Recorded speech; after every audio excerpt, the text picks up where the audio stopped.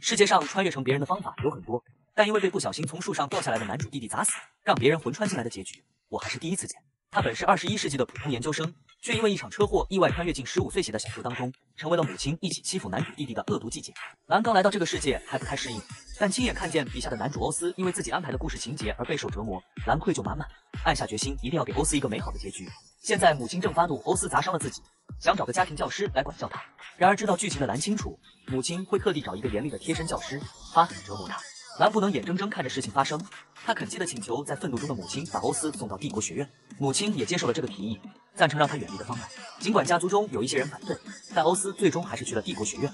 蓝站在窗后，看着这个和自己没有血缘关系的弟弟沉默离开，他在心里点点头，告诉自己这个做法是对的。他要改变原有的事件走向，打出和谐幸福的美好结局。原本以为一切都会变好，然而四年后父母遭遇事故，全部身亡。在葬礼上，蓝看见了四年未见的弟弟。耳边响起了葬礼最后的钟声，一群身穿黑色丧服的人低头默哀。蓝呆呆地看着眼前的棺材，他早就知道会发生这样的悲剧，但却没能阻止。虽然他不是原来的蓝，但这四年里，他也是被父母的爱意包裹着。头戴着的黑纱遮掩了他的悲伤。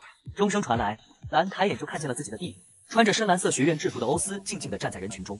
他感受到了蓝的视线，抬起眼睛直视着蓝，像冰川一样湛蓝的瞳孔毫无波澜地直视着他。在故事走上正轨前，蓝要努力生存下去，我一定要想办法让他站在我这边。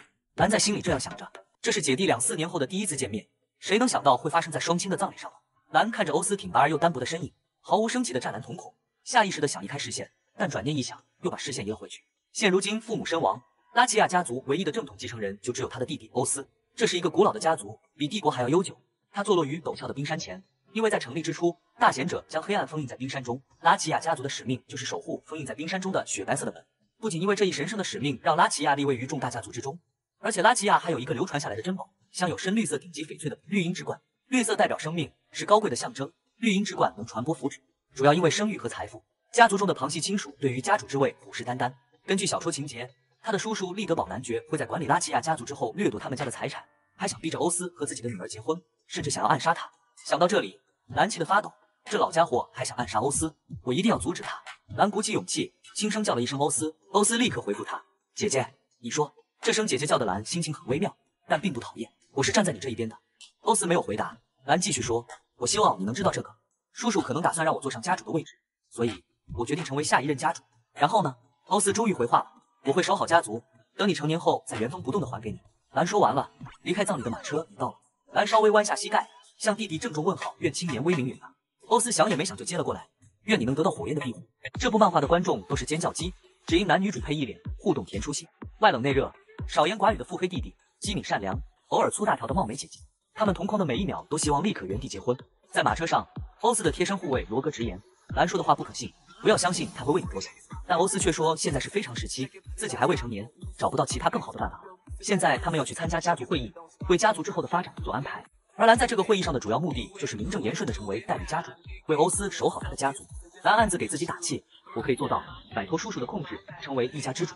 想要让一个没有家族血统的女人坐上家主之位很难，但兰有自己的办法。毕竟她是小说的原作者，知道一些其他人不知道的事情。在拉齐亚家族中，有一枚封印着火焰精灵的戒指，叫做青年。这枚戒指只能家主佩戴。如果这枚戒指被家主以外的人佩戴，那他会把人燃烧殆尽。然而，只有知道这个精灵的名字的人，才能成为戒指青年的主人。想好办法后，蓝攥紧了裙摆，直径坐到了位置上。利德堡公爵开始发表他的演讲。家主的离世让人伤心，但家族还在。府邸不能没有主人。由于欧斯还未成年，应该让蓝来担任家主之位。立刻就有人反驳：蓝虽然姓拉齐亚，可是他没有公爵家族的血统，怎么能成为家主？看着自己的亲戚们开始吵吵嚷嚷，蓝主动站起来：离欧斯成年还有两年的时间，这两年我会担任临时家主。他们开始窃窃私语，但并没有人赞成这个主意。蓝瘪了瘪嘴：我就知道会是这样。如果你们因为血统的原因对我不满，他一边朝欧斯伸出手，一边说道：可以把戒指暂时借我用一下吗？房间沉默了。大家都在看着这个娇小的少女。欧斯看了一会蓝，慢慢的脱下项链递给了她。蓝把戒指从项链上拿下来，蓝色宝石闪闪发光。他毫不犹豫的戴上戒指，瞬间，蓝色的火焰突然升起，人们震惊了，局促不安的把身体向后仰。欧斯担心姐姐受伤，抓住了她的手腕。伊斯卡利普，给我安静点！蓝在心里大声叫喊。刚才好像要吞噬他的火花，下一秒就被吸进了戒指里，火焰消失了。一群人惊愕的看着他的手，欧斯也瞪大了眼睛，每个人都感到不可思议。但蓝知道他成功了。由于蓝的一番大胆操作，即使叔叔心有不甘，但还是无法阻止。毕竟他在众大家族面前戴上家主的戒指，谁也不好多说什么。就这样，家主之位的风波在蓝的预期中结束了。兰把戒指还给了欧斯，自己代理家主的职位已定。他打算在这两年守护好欧斯，直到他继承家主之位，直到真正的女主出现。现如今，侍奉拉齐亚公爵府的有三大家族。兰扫视着这群旁系亲戚们，其中两个家族好说是不会做出叛主之事的，唯独伊鲁米尼提伯爵揣测不准。他看不透这个红褐色头发的男人，这个人拥有最近的继承权，但他并不像叔叔一样露骨的贪图权力。如果他能成为欧斯的力量就好了。兰在心里暗想着，算了，之后再想想怎么收拢他吧。兰站起来宣布会议结束，然而欧斯并没有直接离开，他起身去了房间后的会客室，看来是有话想单独和兰谈谈。看着坐在座位上的欧斯，兰从脚到头一直打量他，不愧是男主，比想象中的帅多了。突然，欧斯问他：“姐姐，你是怎么做到的？”兰知道欧斯指的是自己能戴上家主戒指的那回事，微笑着朝他说道：“其实我就是赌了一把。”这是个意想不到的答案，欧斯的动作瞬间停止了。然而兰丝毫没有察觉到弟弟这细微的变化，自顾自地说道。可能是因为我也是拉齐亚的一员吧，而且是站在你这一边的，内心还颇有些开心的想放心吧。我一定会让你有个幸福美满的结局。突然间，他又想起来其他的主线人物，还得找到男二，这也是剧情中的关键人物。兰低着头，沉浸在自己的考量里，光想着如何给自己的男主角弟弟创造美好未来了，完全忽视了欧斯周围低沉郁闷的气氛和无法掩饰的担忧表情。这是我见过最好看的维古科漫画了。小心触碰相互守护的姐弟俩。先心动的弟弟默默守护，后动心的姐姐大胆奔赴。兰虽然当上了家主，但由于母亲的挥霍无度，拉齐亚的债务单一堆接着一堆的送来。现在的首要任务就是度过这场债务危机。作为小说的原作者，兰可是掌握着财富密码。他知道在家族后的冰山中有一座矿山，那儿有大量的魔法石。虽然这座矿山是女主在之后的剧情中发现的，但为了把债务还清，兰不得不让他们提前出场。冰山中的魔法石像头等彩一样，不仅储量大，纯度也非常高。高纯度的魔法石能存储更多的魔力，因此它的价格也更加昂贵。正当兰在苦恼那座矿山的具体位置时，欧斯叩门进来了。他是来找兰告别的，学院的课程要开始了，他要继续回去完成学业。兰有些惊讶，他本以为欧斯会在家多待一会儿，欧斯却说现在姐姐已经当上了家主，所以我自然要把学业先完成。兰强调只是暂时的，欧斯却像是忽略了这句话似的，谦卑的朝兰郑重行礼。兰皱着眼睛再一次强调我们是家人，你不要这么客气。然而欧斯的话却直接扎入了兰的心，我不认为我们是一家人。他被深深的刺伤了。等欧斯离开后，兰无力的坐到椅子上。这样下去，等家主之位交出去后，我很有可能会被赶出去。还是多攒点钱吧，方便以后跑路。葬礼已经全部结束了，今天是欧斯回到帝国学院的日子。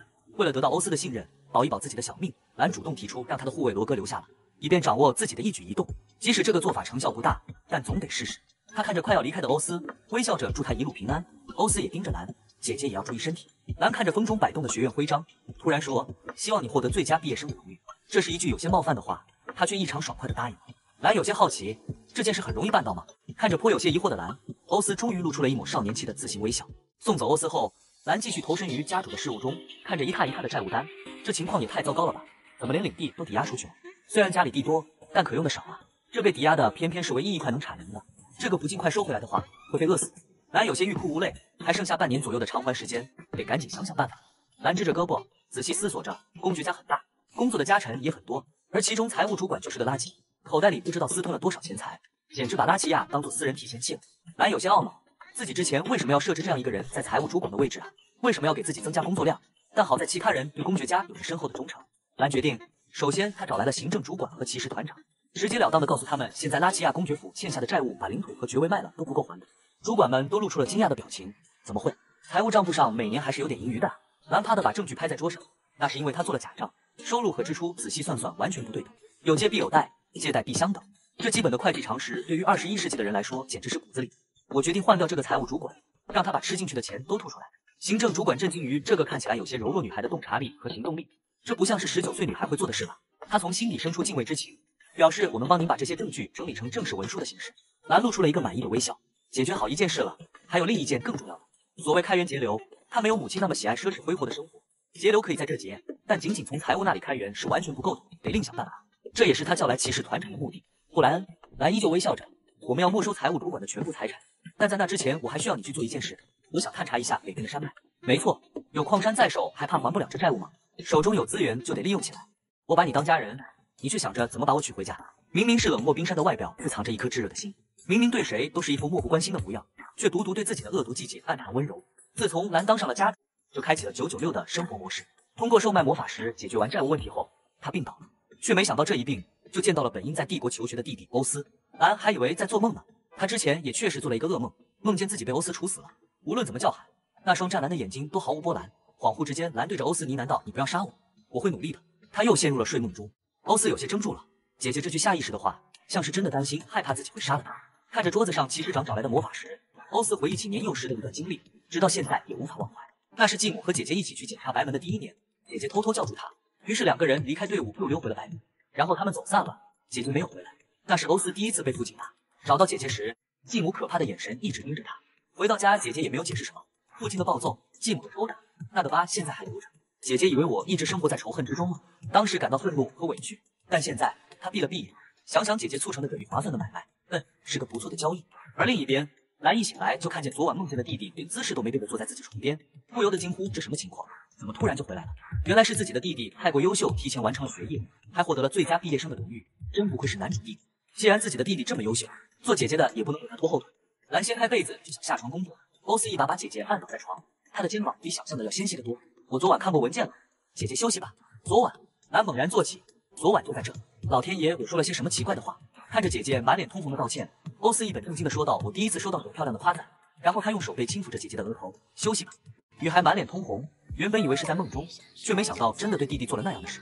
意识到不是做梦的那一刻，羞耻心简直爆表，使劲夸弟弟长得帅也就算了，说他手漂亮也没什么，但怎么会对弟弟说出不要杀我这样的糊涂话呢？兰把脸埋进枕头里，有些郁闷，但是事情已经发生，只能往好的方面去想。另一边，欧斯回想起昨晚姐姐说的话，那句不要杀我，让他有些烦躁，是自己表现的还不够明显吗？我从来没有想过要杀他，即使是因为姐姐遭受了不公的对待，但他依旧庆幸姐姐还健康的生活在自己身边。欧斯决定办完手里的公务再去看看姐姐，却没想到路上遇见了生病未愈的姐姐，正一脸愉快的和主管商讨着工作。看着她单薄的身影和苍白没气色的面容，欧斯没来由的生气，心底的烦躁越来越强烈。他沉着脸走到二人背后。超低的气压吓得二人瑟瑟发抖。兰担心弟弟生气，自己插手他处理的事务，正想解释，却没想到欧斯直接伸手拢住了他的领口，皱着眉头打断他：“你怎么穿成这样就出来了？”看着弟弟一脸不高兴的模样，原来他是在关心自己啊。姐姐突然发现一段时间不见，弟弟不仅长高了许多，也变得更会照顾人了。他抓着姐姐的手，二话不说拉着她去到了房间的壁炉前面。温暖的房间和体贴的人，雨孩看着强势的不容拒绝的弟弟，露出了一个甜美的笑容。他最喜欢的就是自己的姐姐了，看着像雪一样的性格。但落在姐姐手心却是暖的，因为姐姐的一句喜欢你，弟弟像是藏不住似的，一把抱起姐姐。你需要好好休息。即使只是纯粹毫无意义的喜欢，弟弟也欣喜了很久。看着单薄却又有劲的弟弟，拦在欧斯怀中，红着脸小小挣扎，但弟弟丝毫不为所动。他得让姐姐先去睡觉，自己才能解决那个一直打他主意的叔父。这个中年男人一直盘算着兰的主意，原本是想让姐姐当上家主之后再操纵他，但姐姐没让他得逞。现在他又拿着巨额欠条，暗地威胁，计划着把姐姐嫁给他那成天沉迷酒色的儿子。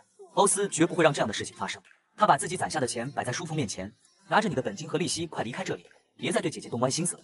叔父看用欠款威胁不到兰，又开始打感情牌。我要见家主，怎么自己的叔叔都不能见他吗？欧斯一脸阴沉，他不想让姐姐再见到叔父，但现在还没到清理他的时机。第二天，兰接见了叔叔。这个老男人眼看自己计划没成功，又耍了一个阴招，他开始挑拨姐弟俩的关系。你有想过未来欧斯当上家主后你会怎么样？兰没有回答，这让他更兴奋。听说你不久前晕倒了，这个年纪晕倒，有想过是其他原因造成的吗？而且还在吃药，对吗？兰依旧没有说话，他很相信自己的弟弟，非常相信，但唯独欧斯会不会杀了他这件事，兰没有把握。不过这个老男人的算盘都快崩他脸上来了，信谁也不能信你啊！蓝嫣然一笑，谁是真心的，我当然知道，用不着你费心。没什么事，你快走吧。看着叔父气急败坏的离开后，兰就累倒在沙发上，看惯了弟弟那张漂亮的脸，和这又丑又胖的大叔周旋，真的好累啊。这个女孩有一个冷脸腹黑的弟弟。她掏心掏肺把他当亲弟一样对待，却没想到弟弟完全没他当做家人。兰刚送走黑心叔父，弟弟就端着红茶进来了，像是算好了时间。兰盯着弟弟手中加了冰块的红茶，眼睛发着光，看着姐姐开心的一饮而尽。欧斯感到很疑惑，前不久在睡梦中都呢喃着不要杀我的姐姐，为什么又毫无防备？如果我在里面下毒了呢？听见弟弟的话，兰捂着嘴，瞪圆了眼睛。他看向欧斯，你真的下毒了吗？没有，这个笑话太冷了。兰舒了口气，那不就行了？欧斯看着姐姐的举动。这和他预料的不一样，但心中的困惑越来越深。如果姐姐相信我，就不会担心自己会杀她。但她一边觉得我会杀她，一边又对自己毫无防备。她完全猜不透姐姐的想法。蓝总不可能告诉她，这个世界是我创造的，你也是我创造的。书中欺负你的反派人物，在未来都会被你反杀吧？蓝对着弟弟解释道：“我现在这么努力，就是为了到时候你能念旧情，饶我一命。如果如果你真的要杀我，那也没办法。”看着姐姐低头害怕自己的模样，欧斯很生气，脸色也越来越冷。他见不得姐姐在自己面前垂着头，小心翼翼的模样。怒火有些冲昏了头脑，他站起来，强迫姐姐把头抬起来。为什么？为什么觉得我会杀你？为什么你觉得即使我要杀你，那你也没办法？他伸手捏住了姐姐的脖子，很纤细，脆弱到他真的能轻而易举结束掉这鲜活的生命。兰感觉到一丝丝压迫，本想后退，但靠背让他坐直了身体。那你不恨我吗？听到姐姐的声音，欧斯终于回过神来，他深沉地注视着姐姐绿色的眼睛，松开了手，坐回到椅子上。他怕继续吓到姐姐。兰舒了口气，今天的弟弟太奇怪了，看上去是做了很多危险举动，但其实并没有伤害他。兰决定吐露自己的心声，因为我一直欺负你，所以很愧疚。如果以后不想杀我，也不想见我的话，我一定走得远远的，保证不会再出现。欧斯看着姐姐冲他笑的模样，都不知道该说些什么。我真的一点也看不透你啊！这个该死的老登居然想对自己的侄女下手，只因女孩手中的权力太过引诱人。拉齐亚的家主之位，若是能收入囊中，名利和财富能享有的可远远不止这些。为了掌权，这个老男人想尽办法让自己的儿子娶兰，明的不行，来暗的，只要生米煮成熟饭，一切都能板上钉钉。他买通兰身边的侍女，在原本的补药中加了点其他成分，兰毫无察觉的喝下了。他感觉到不对劲，但浑身发软，晕倒在地上。模糊中有个人影正在靠近，女孩完全动弹不得，陷入昏迷。在暗中等待的堂哥看要进上来了，立刻冲上前，兴奋地把女孩搬到床上。只要得到她。拉齐亚的一切都任我挥霍。他伸出魔爪，想要玷污这个纯洁的女孩。正当他想要解开女孩身上的衣服时，突然脖颈处泛上一股凉意，一把剑抵在他的喉咙。是谁？他不敢扭头，只要稍微一动，这把剑肯定就能划破喉咙。你觉得我是谁呢？你这个混蛋！寒冷彻骨的声音从身后响起。欧斯此刻只想一刀把这个混蛋送下地狱。还好他了解这对父子的手段，一直守着姐姐。要是再晚一点点，再晚一点点的话，他不敢再往下去想这个该死的畜生。但仅存的理智告诉他。这里不行，血会溅到姐姐身上。这么肮脏的东西怎么能够触碰到姐姐呢？拉齐亚的一切都是属于我的，包括姐姐。而你们居然想利用姐姐夺取家主的位置，真是不可饶恕！看着跪地求饶的堂哥，欧斯用剑抽在他的颈骨上，把他掀倒在地。他用力的踩在堂哥背上，冰冷的目光像是在看一滩死物。现在我们来好好聊聊吧。注意看，这个女孩被觊觎她的叔父下药，晕倒在地。睁开眼，却看见了穿网纹紧身裙的半兽人和头顶蓝色火焰的半兽人。怎么回事？那药里是加了有毒的云南菌子吗？出现幻觉了。通过与他们的交谈，原来是自己因为药物晕了过去，精神被这个世界的守护精灵劫持到了意识空间。只因他们好奇蓝为什么知道精灵的名字，只要回答完这个问题，作为交换，他们可以把蓝送回去。但蓝却要求不要送到二十一世纪，要送回欧斯身边才行。精灵们爽快的答应了。于是蓝向他们说出了这个世界的真相。其实这个世界是我写的小说里的世界。预料中的惊讶并没有出现，相反，精灵们却恍然大悟的表示：原来你是读者啊！读者？什么读者？正当蓝一头雾水时。穿着豹纹紧身裤的半兽人向他走来。你们精灵都喜欢动物花纹的紧身裤吗？怎么一个比一个时髦？这位后来的半兽人告知了蓝，这个世界是怎样的存在。这并不是小说中的世界。你的小说对于这个世界来说只是本预言书。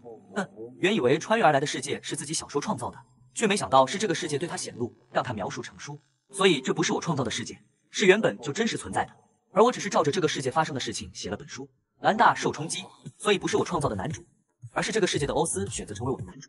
天呐，信息量太大，脑子还没处理完，他就被弹出意识空间。等一下，你们的疑惑解决了，可我还没有啊！再度睁眼时，他已经摔在床下了。真可恶，就不能温柔点吗？兰立刻爬起来，冲到镜子面前。还好还好，还是欧斯的姐姐。侍女听见动静，赶忙推门进来，看见站在镜子面前的小姐，一脸欣喜。太好了，小姐终于醒来了。兰刚出房门，就看见了独自坐在沙发上喝浓茶的弟弟。欧斯看见姐姐出来，就目光就没移开过。我很担心你，姐姐。然而兰看着桌上香喷喷的饭菜，眼睛都发着光，耳朵只听见了弟弟的声音，脑袋里却想着这一定很好吃吧。看见姐姐完全没听进他的关心，欧斯又强调了一遍：“我真的很担心你。”这个女孩太倒霉了，好不容易战胜五百万人考的研究生，却在开学第二天出了车祸，魂穿进自己写的小说中。本想好好对待男主弟弟，保全小命，却卷入权力的斗争中。在一次昏迷中，守护精灵告知了女孩这个世界的真相。原来这并不是小说中的世界，是真实存在的世界。未来的发生的事情是可以由女孩来改变的。自从女孩穿越进这个世界后，唯一的目标就是要给男主弟弟一个幸福美好的生活。为此，她不断努力。她刚从昏睡中醒来，就从弟弟那儿得知了自己失去意识后的经历。叔叔和堂哥简直就是禽兽，为了权力什么都干得出来。虽然没有实质性的发生什么，但他仍感到一阵恶心。好在这次有些收获，弟弟不知道用了什么手段，把那群同谋都揪了出来。这场夺权的风波终于可以告一段落了。兰看着弟弟，这不是我笔下可怜的男主人公，那些的悲惨遭遇也不是我造成的。他是一个完全独立的人。兰的负罪感消失了，对于这个世界。他不再把自己当成欧斯悲惨命运的罪魁祸首。兰认真的对着弟弟道谢。虽然他有猜到自己这次中招很有可能是在欧斯的计划中，没有什么证据比在案发现场被抓包更有效了吧？但他依旧有些不开心。好歹也提前告诉我一声啊！弟弟看着嘟嚷嚷的姐姐，认真解释道自己这样做是害怕姐姐提前知道了，他们会做出更疯狂的举动。兰接受了这个解释，毕竟他相信自己的弟弟。不过经历完这一系列事情后，他对这个世界和自己有了新的看法。他要好好活下去，虽然依旧以弟弟的幸福为中心，但他不会再顺从的接受自己的死亡结局。我们结盟吧，在你当上家主之前，我们结为同盟关系，相互信任。兰对着弟弟建议道。欧斯看着姐姐自信满满的活动，信任吗？作为拉齐亚的接班人，未来要处于权力漩涡中心的人，他从小就被教导不要相信他人，这会将弱点暴露出来。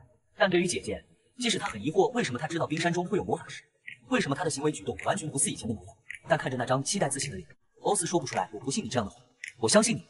他选择遵循自己的内心。女孩和自己的弟弟结为同盟，两人打算携手共进，一起度过家族难关。弟弟处理家族的安保问题，姐姐负责行政和财务问题。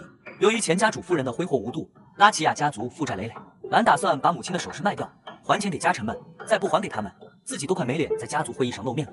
他看了弟弟一眼，要不是你，我早就带着首饰跑了。不过，变卖母亲的遗物真的可以吗？这个问题兰早就想过了，挑几个保证不亏本的卖掉，其余的就留给未来的公爵夫人吧。毕竟拉齐亚的家主夫人也代表着家族形象。本以为弟弟会对未来的妻子充满期待，却没想到他依旧是一副冷漠的表情，事不关己的模样让兰有些摸不着头脑。变卖首饰确实解决了一些欠款问题，但家里的佣人却传出拉齐亚家族快要破产的谣言，弄得下边人心惶惶。正当姐姐为此苦恼时，弟弟却说正好可以借助这次的谣言挑选出一批忠心可信的人，等之后魔法石的事情公布出来，谣言也会自动停止。没想到问题这么快就被解决了，兰开心的捂着嘴笑，看着姐姐高兴的模样，弟弟心里也欣喜着。这时，魔法工匠来了。他们是来把魔法石加工成魔法工艺品的。看着这高纯度的魔法石，工匠露出了惊讶的表情。这种纯度的魔法石，他从未见过。这么贵重的东西，不知道小姐想要用它来制作什么？女孩却笑眯眯地告诉他，这种魔法石她有很多。我想要让大家都用上魔法制品。不过，首先能拜托你做一条电热毯出来吗？这个女孩太过优秀，让她的弟弟怀疑起了她的真实身份。前期她只会用娇蛮的手段欺负弟弟，妥妥的恶毒伎伎。而现在，他不仅凭借着聪明才智，在权力漩涡中站稳了脚跟，也颇有商业头脑。通过售卖魔法石制品和精灵商团做上生意，还清了家族的巨额债务。难找来精灵不仅仅是为生意，他知道面前这个有着尖耳朵、毫不面善的男人是个制药高手，这也是蓝首先找到精灵族的主要原因。伊鲁米尼伯爵的女儿身患重病，只要救好她，就不怕这位家臣会有叛变之心。为了弟弟以后掌权能少些隐患，他必须要与这个男人达成合作。蓝面带微笑的朝精灵开出自己的筹码，我给你十倍的价格，只要你帮我救一个人。而一直没掌握到主动权的精灵非常不悦，眼看买卖就要谈崩，蓝又开出了另一个条件。我能在精灵族和矮人族中间做中间人，帮助你们商业交流。要知道，精灵族和矮人族互不对付，这一矛盾在双方的商业上都造成了巨大的损失。果然，精灵答应了，合作达成。目睹了这一场交易的弟弟不禁怀疑起来：这个自信满满、行事大胆的女孩，真的是一直养在深闺里的姐姐吗？年幼时的姐姐对自己总是抱有敌意，但自从那一次醒来后，她发现原本对她指挥来指挥去的姐姐，现在所做的任何事都以她为中心，不仅能对她说出“我喜欢你”这样的话，还告诉她，假如要杀我，我也没有任何怨言。种种迹象让欧斯不得不在意，姐姐这张美丽聪明的皮囊下，真的是原来的灵魂吗？你究竟是谁？他第一次直呼兰的大名，女孩瞬间惊慌不已。刚才还轻松愉悦的气氛一下子变得紧绷起来，眼看就要掉马了。兰依旧强撑着表示我是你的姐姐，随后找了个借口把弟弟支走了。可看着女孩慌乱紧张的神情，欧斯冷笑着：“你根本不会撒谎啊，姐姐。”这个女孩来自二十一世纪，然而现在她马上就要在自己的男主弟弟面前掉马甲了，只因她行事举动太过聪明，完全不似普通的贵族小姐。你到底是谁？这句话让女孩浑身僵住了，如遭雷劈。但只零点一秒，她立刻抓住弟弟问题中的漏洞：“我是你姐姐啊！”却没想到弟弟完全没把她当姐姐。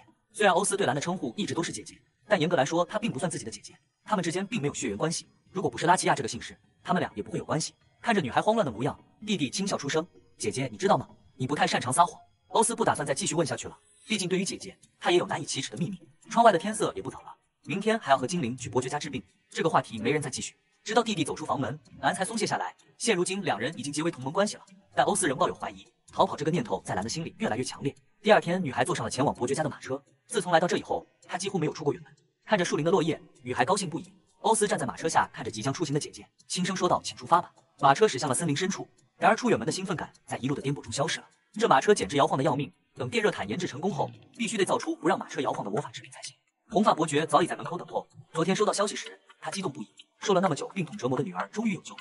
虽然这个精灵族的男人有些不礼貌，但他很快就诊断出了小女孩的急症所在。原来小女孩因为身体虚弱，便一直在吃补药，但是药三分毒，毒素累积在体内，造成身体恶化。只要慢慢停下来，就能痊愈。听见自己能够变得健康，小女孩露出了花儿般的笑容。解决完病因后，伯爵想给救命恩人丰厚的报酬，但精灵只用魔法石结算，他并没有搭理伯爵。荷兰确定好时间后便离开了。伯爵知道眼前的这个少女这么大费周章的帮他女儿治病，绝对是有所图谋。他直接了当的问了。没想到这个才二十岁的女孩说想要赢得自己的好感，伯爵有些困惑。论实力，他们家族远远比不上拉齐亚，他想从这得到什么呢？这个女孩心有些大，拥有了一个帅气专一的男主弟弟还不够，居然还要去找男二。蓝找到伯爵的确是有其他的目的，他看中伯爵家族的阴暗势力，一些犯罪组织、鱼龙混杂的群体，用来找身处泥潭的男二，一定再好不过了吧？另一边，欧斯虽在处理政务，但他的心思却全在想着姐姐。这个时候，他指派去打探姐姐消息的暗卫回来了。得知姐姐正在回来的路上，欧斯舒了口气。他轻抚上胸口的戒指，姐姐真的太让人疑惑了。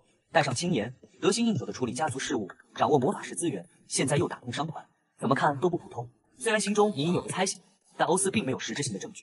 他让暗卫继续去打听，在姐姐离开后，伯爵做了什么。既然姐姐不愿意告诉他，那么他自己来查就好了。兰踏着夜色回来，刚一进门就看见了在客厅等候的弟弟。似乎总是这样，自己生病也好，昏迷也好，一推开门总能看见等候着的弟弟。得知弟弟还没有吃晚饭后，女孩瞪得圆圆的眼睛一下子就眯了起来。你是在等我吗？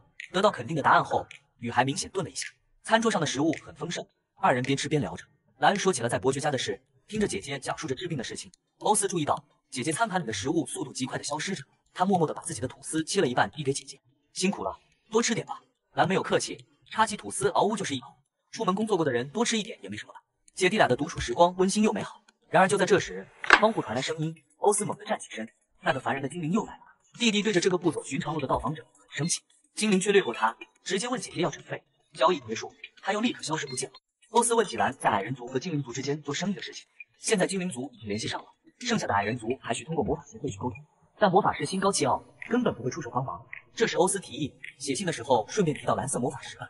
要知道魔法师的魔力一靠近魔法师就会失效，但这个秘密很少有人知道。有这样的威胁，就不怕那群高傲古板的家伙过来找他。第二天一大早，看着出现在门口的客人，果然威胁奏效了。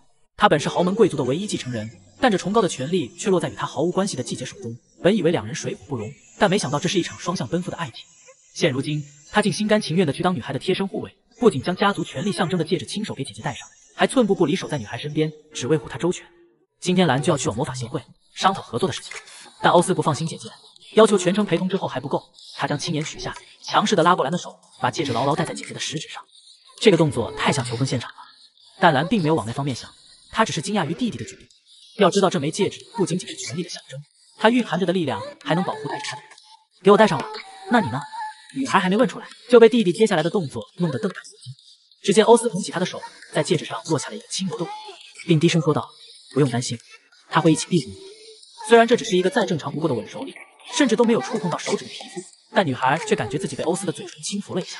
也许是心理作用，手上传来的酥麻感觉让蓝有些红了，她变得紧张起来。自己的弟弟什么时候变得这么会撩了？差点就要心动了。原本今早还在担心和那群老家伙谈话可能不太容易，但这下蓝突然什么都不怕。由于这次的会谈很重要，关系着家族未来商业的发展，蓝特地换上一件正式又端庄的黑色礼服，头发也为了更显威严盘了上去。在黑色的衬映下，女孩越发白净，娇艳的脸庞透着一丝红润，像是在夜里刚绽放的玫瑰，难以忽视她的美貌。装扮完毕。蓝刚走出房间，就见到了穿着骑士服的欧斯，一记披风，一把长剑，并没有过多的装饰，依旧是一副冷冷的模样，但偏偏就存在感极强的，让人挪不开视线。欧斯也注意到姐姐，他从没见过这样的姐姐，简直就是美若天仙。他目不转睛地盯着蓝，被弟弟看得有些不好意思，他挠挠脸颊，有些尴尬地问道：“是不是太华丽了？”欧斯却否认道：“不，姐姐很漂亮。”蓝的脸有些发红，这么直白的夸奖从弟弟嘴里听见，真是不好意思。看见姐姐的反应，欧斯微微扬眉，并没有再说什么。而是伸出胳膊让姐姐挽过来。这么漂亮的姐姐，谁也不许从她身边夺走。眼下，他们就要准备出发了。男人冷若冰霜，风心所爱。本以为这辈子都不会再有让他心动的对象，却遇见了能打开他心扉的女人。这明媚的笑容让他坠入爱河。但女人却藏着秘密，一直把自己当弟弟，还想着逃离他身边。为了把姐姐留下，欧斯决定与姐姐达成合作，先结盟，再结婚。弟弟准备一步一步抓住姐姐的心。为了家族商业，他们要去魔法协会的大门，应该快到了吧？越来越低的温度让人想要裹紧身。过了一会儿，树林中出现一个男人的身影，宽大的长袍昭示着他是魔法协会派来的。看来他们到了。男人毕恭毕敬地走到马车旁，对蓝行。身为拉齐亚的家主，蓝优雅大方。由于魔法师比较沉默，他们要求只能让蓝一人进来。那可不行。话音刚落，就遭到拉齐亚护卫的强烈反对。他们跟随而来的目的，就是为了保护家主。现在怎么可能让家主大人独自踏入未知的危险地？男人很不悦。作为受人敬仰的魔法师，什么时候被人这么呵护？你们是觉得我们会对家主做什么？眼看双方就要起冲突，蓝攥了攥拳头，站出来：“我和欧斯一起去。”他很清楚，若是自己单独前往，欧斯一定不会同意。如果两人一起，他就不会。魔法师有些犹豫，但蓝的态度很坚决，最终留下一众护卫。他们二人进入到在魔法师的引领下，蓝掀开了帘子，瞬间所有人的目光都落在了身上。面对这些直晃晃的视线，女孩从容不迫，微笑着剪下了披风。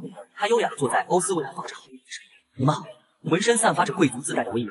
作为魔法协会的会长，扎里斯在没见到拉齐亚新任家主之前，并未把兰放在眼里。他以为这只是一个拿权力过家家的娇蛮大小姐，好对付。然而眼下的情况却和预料中的相同。他们错的这绝不是你想象的。而且身后站着的护卫看起来也不普通，周围的气场让人完全无法忽视。不知是不是错觉，那双湛蓝色的眼睛似乎一直盯着他，好像在说：只要你肯伤害家主，我绝对会把你的头砍下。扎里斯莫名害怕起来，这两人不会带着魔法师过来。要知道，在魔法师面前，任何魔法师都会变成废物。于是谈话在蓝明里暗里的威胁下进行的很顺利，最终交易完成。没想到这么快，事情都谈妥了。蓝按捺住心中的喜悦，起身准备离开。欧斯你寸步不离的跟着姐姐。理查德看着快要走远的两人，怎么看都不像是尊贵的家主和他敬畏忠诚的护卫，尤其是那护卫看着女孩的眼神，直白的不正常。他叫祝兰，这位护卫是拉齐亚的骑士吗？女孩忽然笑得很灿烂。明媚的笑颜映着落日的余晖，像炫耀最珍贵的宝石一样。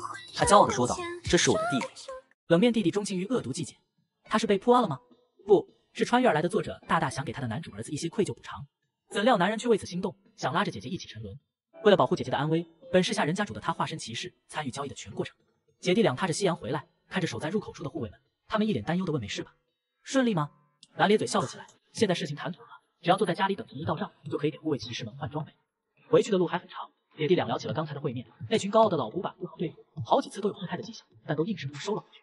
女孩以为这是魔法师们靠着自己的理性，却没想到是因为身后的弟弟气场太强，让他们转回了理性。弟弟得知姐姐并没有把握，就踏入了魔法师的领地，抱着赌一赌的心态。他生气了，在欧斯看来，什么都比不上姐姐的安全重要。女孩察觉到弟弟有些生气，她摩挲着手背解释说，一开始闹不愉快就没法继续下去。再说了，语调忽然变得雀跃，你不是陪我一起去了吗？他脸颊微红，双眼一眨不眨的盯着弟弟，一副全然信任的模样。欧斯忽然感觉自己心底的躁郁被姐姐轻柔的抚平了，露出一个让无数女孩都为之心动的笑容。兰看呆了，这还是那个永久性面瘫的欧斯吗？他的嘴角居然能扬得那么高！女孩像发现了新大陆一样，瞪起圆溜溜的眼睛。欧斯解下外套披在姐姐身上，打断女孩热烈的视线。温度在变低，你别生病了。暖心的举动让兰抓紧了弟弟的衣服。拉齐亚的冬天就要来了，之前做好的电热毯可以派上用场。女孩把自己全身都缩进毯子，被温暖包裹的感觉简直不要太舒服。具有商业头脑的姐姐又有了一个新主意，她打算让魔法工匠制作暖气神。击倒在社交界大火，小正太一个亿，还没来得及多赖一会儿，女孩又要出发去白门举行新年仪式。大雪纷飞的寒冷天气，让她把自己裹得严严实实，一丝缝隙都不留出来。穿太多的后果，就是她走起路来像个缓慢移动的桥。弟弟被姐姐怕冷的举动逗笑了，你还能骑马吗？女孩见自己被看低，立刻朝欧斯大声反驳道：“我能骑。”但这厚重的衣服着实让她有些困难。瞥见在一旁的护卫，蓝小声嘟囔着：“你得帮我。”护卫闻言立刻微笑着伸出手，搀扶女孩骑上马。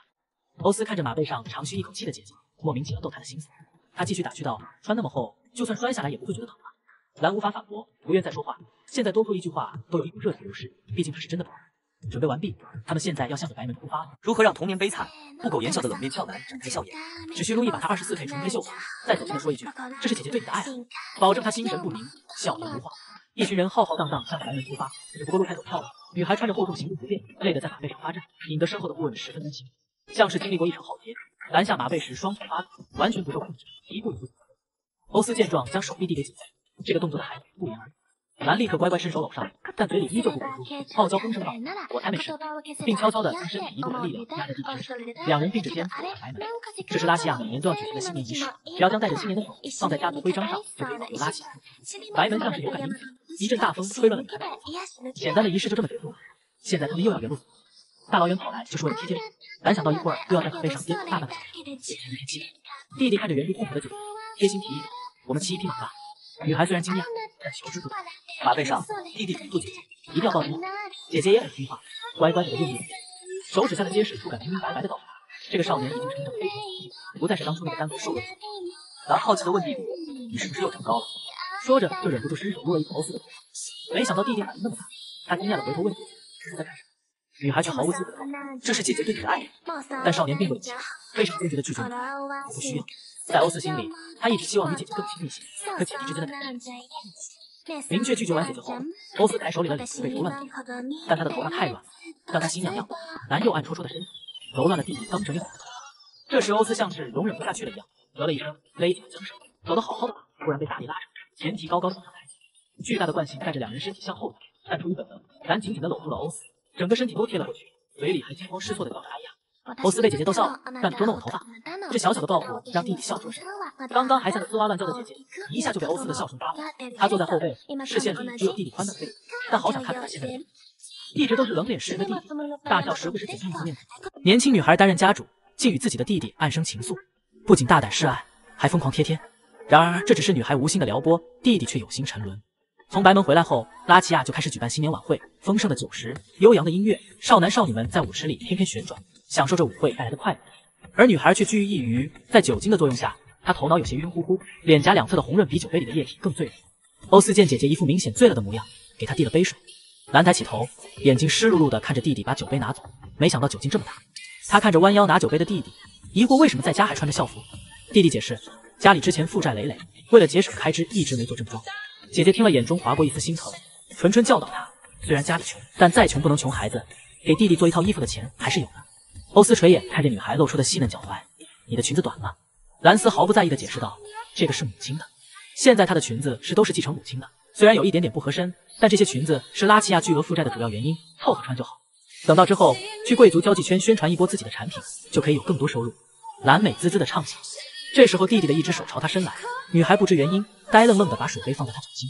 欧斯有些无语，随手放在托盘上后，再一次对女孩伸出了手，跳舞吧。他直白的说出了自己的目的。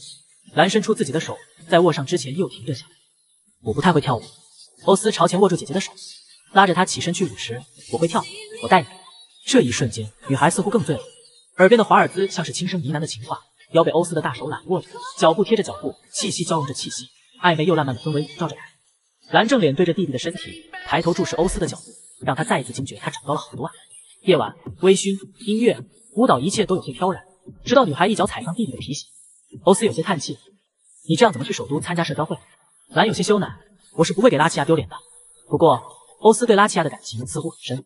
可他不一样，这又冷又偏。虽然家族威望很高，但并没有那么多。对于兰来说，拉齐亚只为欧斯存在。欧斯不在这儿，拉齐亚就没有意义。有个感情白痴的姐姐是种什么体验？冷面腹黑男的追妻体验实在太糟糕。美美饱餐一顿后，女孩出来透气。夜晚的微风吹走周身的燥热，带来凉爽。一口气干完整杯酒，酣畅的舒爽蔓延全身，男忍不住握拳跺脚，直呼太爽了。酒精的作用很快就从胃里灼烧到脑袋。他晕乎乎的，翠绿色的眼睛晕晕胜水汽，逐渐变得幻粉迷离。放眼望去，白茫茫的一片，雪花在黑夜中透露着点点光芒。女孩忽然解开发束，淡茶色的头发倾斜而下，洒落在周身，散发着一股圣洁的魅影。她一定是喝多了，直接跳坐上平栏，双腿在空中晃啊晃，完全没意识到自己现在有多危险。突然的一声“姐姐”，让女孩从回过神，她看见了一双睁大的蓝色眼睛，原来是弟弟啊！女孩满面笑意，兴奋地张开双手。轻飘飘的感觉让她觉得自己要飞起来了，却没注意到欧斯一脸惊惧的快步跑向这儿。少年伸手一把抓住姐姐，一个狠劲就把女孩搂进怀中，恐惧感蔓延到整个头皮，心脏紧缩着揪成一团。直到姐姐换了身欧斯，对他大笑着，少年的心才慢慢舒展开。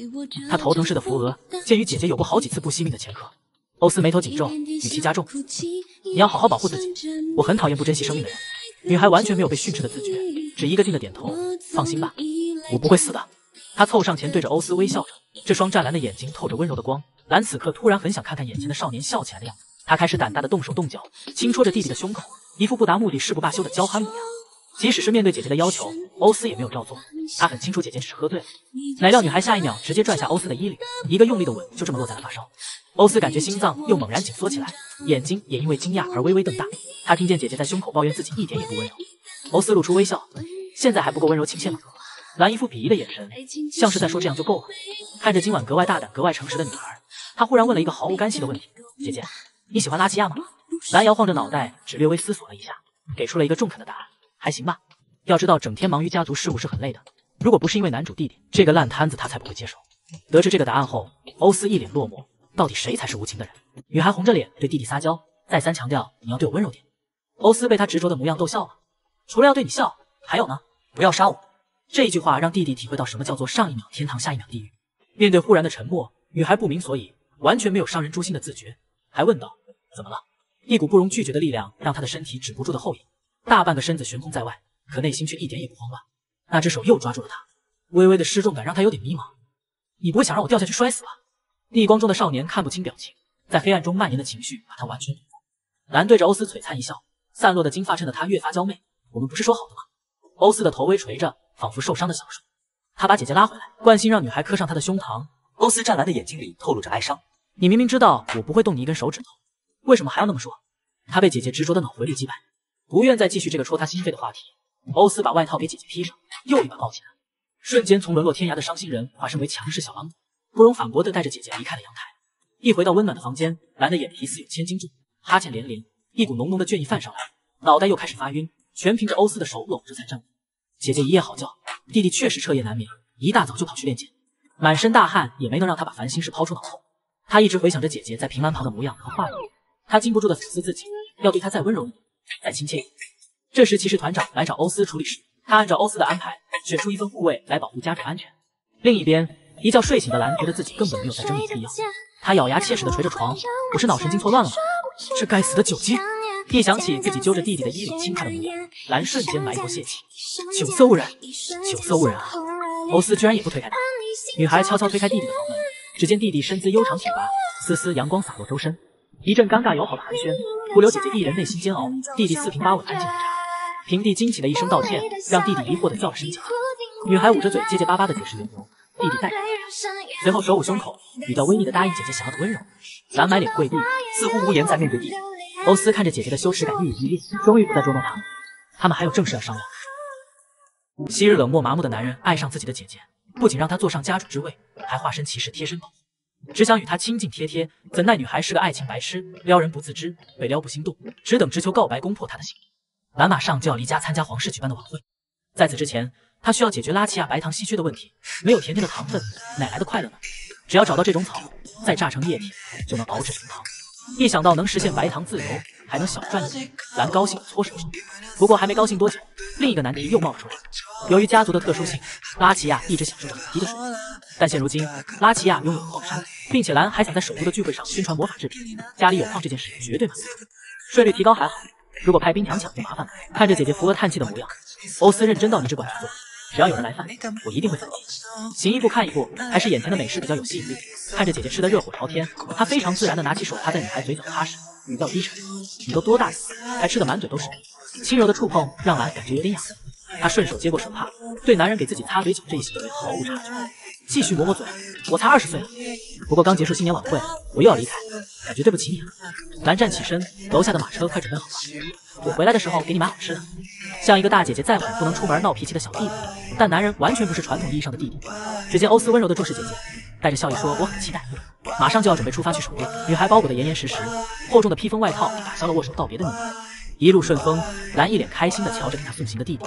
欧斯嘱咐道：“不要喝酒。”他羞赧的保证绝对不会的。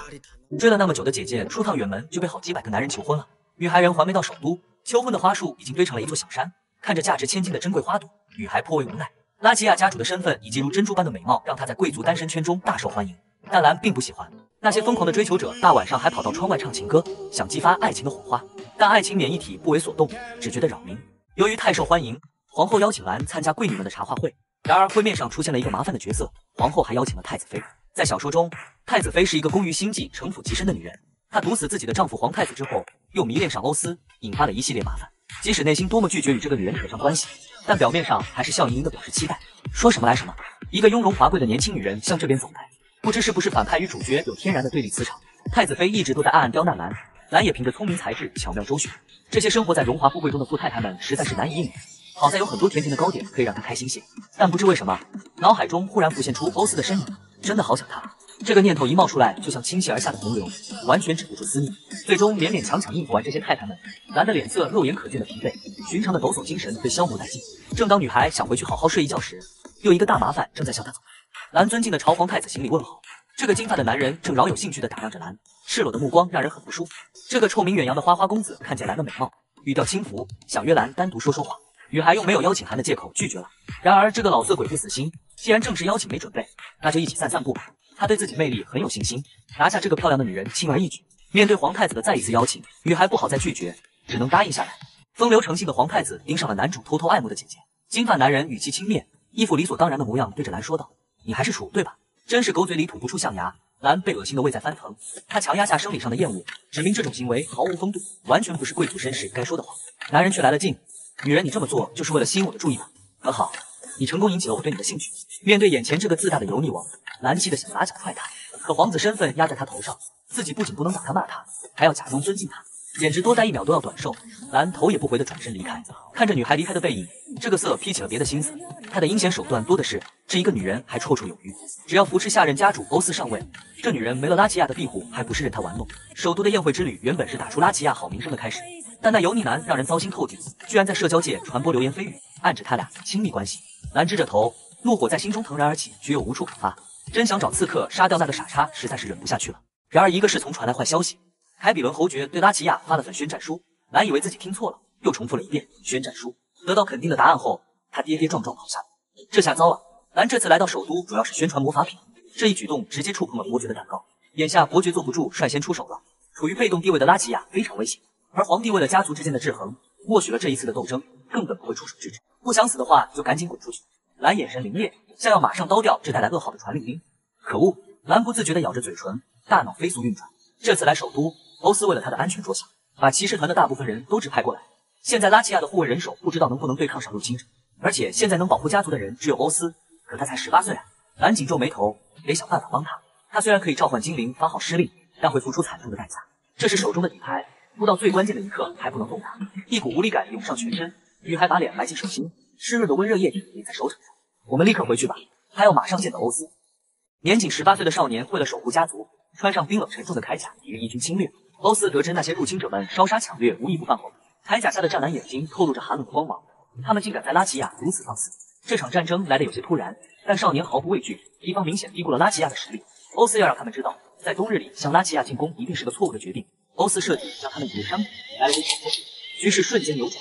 眼见要输，对方将领气急败坏，立刻摘下头盔，大声嚷嚷：“我要和你决欧斯见状只觉得可笑，冷冷吐出两个字：蠢货。当火种也许还有一些生机。但男人之间的决斗却是有生有死，哪管是谁的伯爵长子，一剑下去，血雨纷争。男人用无比寒冷的目光注视着地上的一滩死尸，想杀我就要做好被反杀的准备。战争结束，他摘下沉重的头盔，面无表情注视着前方，耳边充斥着士兵们的欢呼声。欧斯却没有胜利后的喜悦，姐姐一定很担心吧？他得快点见到兰。尽管欧斯已经派暗卫告知兰自己一定会取胜，让兰不用担心，但得知欧斯赶来了首都的那一刻，女孩立刻飞奔下楼，看见一直牵挂在心的弟弟，她什么都不管了，直接扑进欧斯的怀中。嘴里念叨着“你没事，真是太好了”，带着哭腔的语调让男人把怀中的女孩搂得更紧了。疯狂赶路的疲惫在这一瞬消失殆尽。他一把抱起姐姐，面上的神情温柔的不可思议，眉眼间的笑意像是一汪荡漾的春水，丝毫不觉得这种行为有什么不妥。他只是想抱她。女孩被突然腾空的身体吓了一跳，胳膊不自觉地搂上弟弟的肩膀，只是眨巴眨巴眼，疑惑地叫了声“欧斯，我在这里”。低沉温润的嗓音让女孩惊觉弟弟的声音变了，意识到眼前的人不再是清秀消瘦的少年，而是个有力量的男人时，她突然有些害羞。底下的触感又硬又结实，没想到你会这么热情的欢迎。感受到姐姐的局促，欧斯放下有些脸红的女孩。然而侍从们的注目礼让他脸红得更透。弟弟为爱化身将军，冲锋陷阵，只为护家族周全。面对心爱的姐姐，昔日的冷面骑士笑成一潭春水。少年心思不语，可惜姐姐不领风情。拉齐亚获胜的消息传遍了皇宫，众多贵族们想拉拢拉齐亚，其中不乏未婚贵女，想见见在战场上的胜利将军，解决终生大事。兰看着窜得越来越高的弟弟，他领着欧斯去做了一件新衣服。男人一出来便吸引了所有人的目光，得体的裁剪使得他清冷淡漠的气质越发突出，浑身散发着礼貌疏离的气息。兰看呆了，忽然欧斯只走是从，直接问了句大逆不道的话：“姐姐，你是不是想谋反？”兰被炸得立刻否认：“你怎么会这么想？”男人不置可否：“既然没想谋反，那为什么要调查二皇子呢？”之前蓝派暗卫调查二皇子，让欧斯有些在意。蓝解释：“我只是想了解他一下而已。”弟弟继续追问：“然后呢？”一副誓不罢休的模样。蓝有些难以开口，后退着坐下后，咳了两声。皇太子有可能当不上皇帝啊！欧斯目不转睛地盯着他，蓝被注视着越来越心虚，最后气急到，要不是因为那个混蛋皇太子，话只说到一半就打住了。这种话题怎么和弟弟讨论？兰有些犹豫，究竟要不要把那色批调戏他的事情说出来？男人却告诉他，你更应该和我说，因为我并不是你的弟弟。看着姐姐纠结的面孔，欧斯用手指轻轻撩起女孩脸颊的碎发，语气呢喃道，似乎在撒娇：“姐姐，你就告诉我吧。”难道出了实情？皇太子总是动手动脚的。有的时候还会故意摸她。你说什么？男人顿住了，刚才还眷恋着的手也放下来。而女孩因为这些事生气捶腿，并没有看见男人脸上的神情发生了翻天覆地的变化。既然这样，她打算亲自去见见二皇子。按照姐姐想的去做。兰和欧斯还没踏出房门，贵族小姐蜂拥而至，只想和他们套上话。这时，两位身穿黑色丧服的女子走来，其中一位哭着吼道：“杀人凶手，还我哥哥！”说着挥手就要扇过来。兰还没反应过来，紧闭着眼，在眼皮子底下竟敢这样对姐姐。欧斯一把甩开他的手，毫不怜惜。他护着怀里的姐姐，居高临下说道：“并不是我杀了你哥哥，而是你父亲的参与。”就算你有仇恨，也不应该对着我姐姐发泄。说罢，欧斯不再搭理瘫坐着哭泣的两人，拉着姐姐直接离开了。男人人前人后两种模样，外人面前他是面瘫冷漠的家族继承人，无情无爱；姐姐面前他是满心满眼只有你的忠心耿耿，占有欲超强。他毫无绅士礼仪的把女人推倒在地，只为保护姐姐。而这件事却在贵族圈里引起热议，认为一向高冷又麻木不仁的男人为什么会对姐姐那么温柔？既然对姐姐如此，那对将来的妻子该有多体贴啊！于是圈中热议话题变成了如何成为男人的心上人，连兰的知心好友都捧着脸花痴，如果我还没嫁人，一定会爱上欧斯。女孩端着红茶笑着打趣，两人聊得正开心，好友忽然担忧的问他：皇太子是不是还缠着你？听见那个混账的名字，兰的脑袋又开始隐隐发痛，眼下的情况变得更棘手。由于他一直躲着皇太子。皇后都开始变得不友好，不仅是皇后，好友还提醒兰需要多多注意太子妃的行为。另一边，欧斯在着手调查皇太子，这个混球居然对姐姐做出那么出格的事情，绝不能轻易放过。男人查到消息，太子妃一直在避孕，皇室中子嗣是稳权的关键。这么看来，太子妃似与皇太子不和，另有打算。正在欧斯思考这个太子妃盘算什么时，皇太子过来，他面无表情的朝金发男人行礼。皇太子来见欧斯，完全是打着兰弟主意。只要他与欧斯联手，助他登上家主之位，孑然一身的兰便会沦为掌中之物，任他玩弄。男人越说越兴奋，看着自以为聪明的皇太子，欧斯心中冷冷吐出两个字：蠢货。果然是下半身思考的蠢货，龌龊的想法和那张情欲泛滥的脸一样令人恶心。皇太子走后，兰找了过来，他听说皇太子来见欧斯，以为是来找麻烦的。看着面色冷峻的弟弟，姐姐有些担忧。欧斯皱起了眉头，犹豫了会问道：“姐姐，你打算回拉齐亚吗？这么多人对他有非分之想。”欧斯很不高兴，女孩却表示我还想在这留一段时间，直到社交活动结束。欧斯不再勉强，兰以为是弟弟受不了皇宫的氛围想回家了，告诉他不想待在这里，你可以先回去。他顿了一下，继续说道：“不过我还是想你留下来陪我。”挽留的话语让男人内心炸开了花，他额头凑前，盯着那双翠绿色的眼睛，缓缓吐出四个字：乐意至极。女孩被他忽如其来的亲密举动吓了一跳，但并没有闪躲。欧斯邀请姐姐去书房商讨事宜，女孩一个劲的点头，看着他纤细的身影，一股巨大的力量在男人内心涌动着。但身后却似有一双手就在耳边，母亲用近乎蛊惑的声音在他耳边说道：“不要相信嘴上说爱你的人，不然你的下场会和我一样。”一声低沉的姐姐让女孩回过头：“如果我背叛了你，你会怎么样？”男人爱着自己的姐姐，可童年的遭遇让他变得冰冷麻木，毫无所求。但女孩真诚炙热的目光让他产生爱的欲望。如果我背叛了你，你会怎么样？哪知女孩把这句话当成玩笑：“你是想把我卖给皇太子吗？”男人想也没想：“怎么会呢？”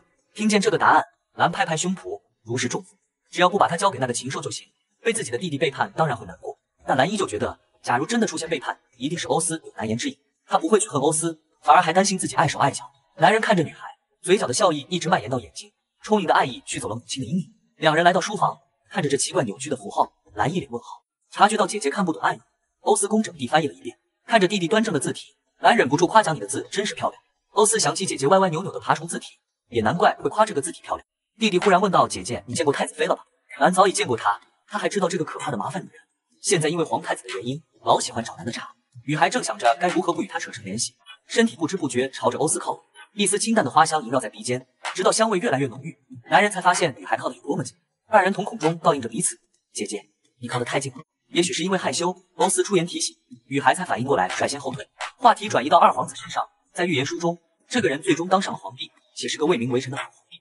兰决定去见见二皇子，在拱门里。他沏上茶，安静的等待着宾客的到来。周身环绕着的绿色植物让女孩感到心情舒畅，丝丝阳光洒落在她身上，像是绿荫丛里最珍贵的花。二皇子一进门便看到这样的景象，也难怪自己好色的皇兄一直死缠烂打。这么娇艳的美人，怎么会不想得到他的芳心呢？兰微笑着朝二皇子打招呼。这次的谈话，他只是想给二皇子抛出橄榄枝，可坐在面前的这个男人，绝不是一个普通的闲散皇子。蓝也没想着仅凭初次见面就可能建立信任，他带着二皇子四处逛逛，增进友谊。走到一处时，身旁的人忽然抖动一下。蓝好奇地问他怎么了，哪知他说灌木丛里好像有什么东西，以为是猛兽。两人害怕的僵在原地不知所措。一个高大的人影从阴暗处显露出来，女孩一眼就认出了那个熟悉的身影，原来是弟弟啊。不过见到姐姐的欧斯依旧面无表情，冰冷的瞳孔不知道在注视着谁。男人面色冷淡，并无神色，但二皇子却敏锐地嗅到了警告的气息。也许是同为男人的缘故，他太清楚这个眼神是什么意思了。那是男人对所有物的宣告。戴欧斯走远后，他回头对兰说道：“你应该不会很早就结婚吧？毕竟有一个这么英俊的弟弟。”他意有所指，兰完全没听出弦外之音，只当他在夸奖自己的弟弟。看着女孩骄傲的模样，二皇子忽然有些好奇：下任家主上位时，他的处境还会是现在这样吗？他有些怜惜。如果你未来无处可去了，可以来投奔我。兰却睁大了眼睛，咯咯的笑起来。未来的事情他早有打算，家主当够了，出去享受生活多不错。离开宫门后，他还要为晚上的舞会做准备。兰坐在梳妆镜前，任凭侍女们给他梳妆打扮。欧斯坐在长椅上，等着姐姐弄好妆发。他听着姐姐一直夸奖二皇子，直到要吐口汁才闭上嘴，心里很不是滋味。欧斯注视着兰，那张嘴之前对他说过最动听的话语，现在却在喋喋不休地说着其他人。兰回头瞥了一眼弟弟，内心想着要给即将生日的欧斯一个惊喜。待装扮完成，精致的妆发让她多了古成熟女人的美丽。蓝色优雅的连衣裙如浪流般倾泻而下，亭亭玉立的身姿宛若一朵深夜绽放的水仙花，只有黑色才能衬出她的美丽。但这段时间频繁的社交以及小心翼翼的周旋，让她有些心累。兰垮起脸，连声哀叹。要是我只是普通女孩，参加晚会就好了。欧斯见姐姐可怜兮兮的模样，提醒她晚会要开始了，她也该出发了。富丽堂皇的宫殿明晃晃的照映着每个人的脸。兰找到一个角落，打算再待一会就偷偷溜走。一个银发男人上前朝她打招呼，看着和太子妃有七成相似的面孔，兰确信这是太子妃的哥哥。女孩提起裙摆，优雅的朝他行礼问好。接二连三的客套话让兰有些摸不清他的来意。直到这个银发男人凑上前，警告味十足的说：“太子妃是我妹妹。”还没说完，又一个大麻烦走过来。那个好色的皇太子一眼就看见人群中最亮眼的兰，他立刻靠过来，眼神在女孩身上流转。许久不见，变得更漂亮了。要是能得到她，自己还有多美啊！他邀请兰跳舞会的第一支舞，这句话刚说出来，众人的眼神就变了。传统上舞会的开场舞都是由继承人与他的妻子共舞，这也是一种权力上的宣告。邀请拉齐亚家主跳舞，这是完全没把太子妃和他家族的颜面放在眼里。兰被这无脑的举动弄得措手不及，他还不想在这树敌，更何况太子妃的哥哥还在这，直接拒绝会让大家下不来台面。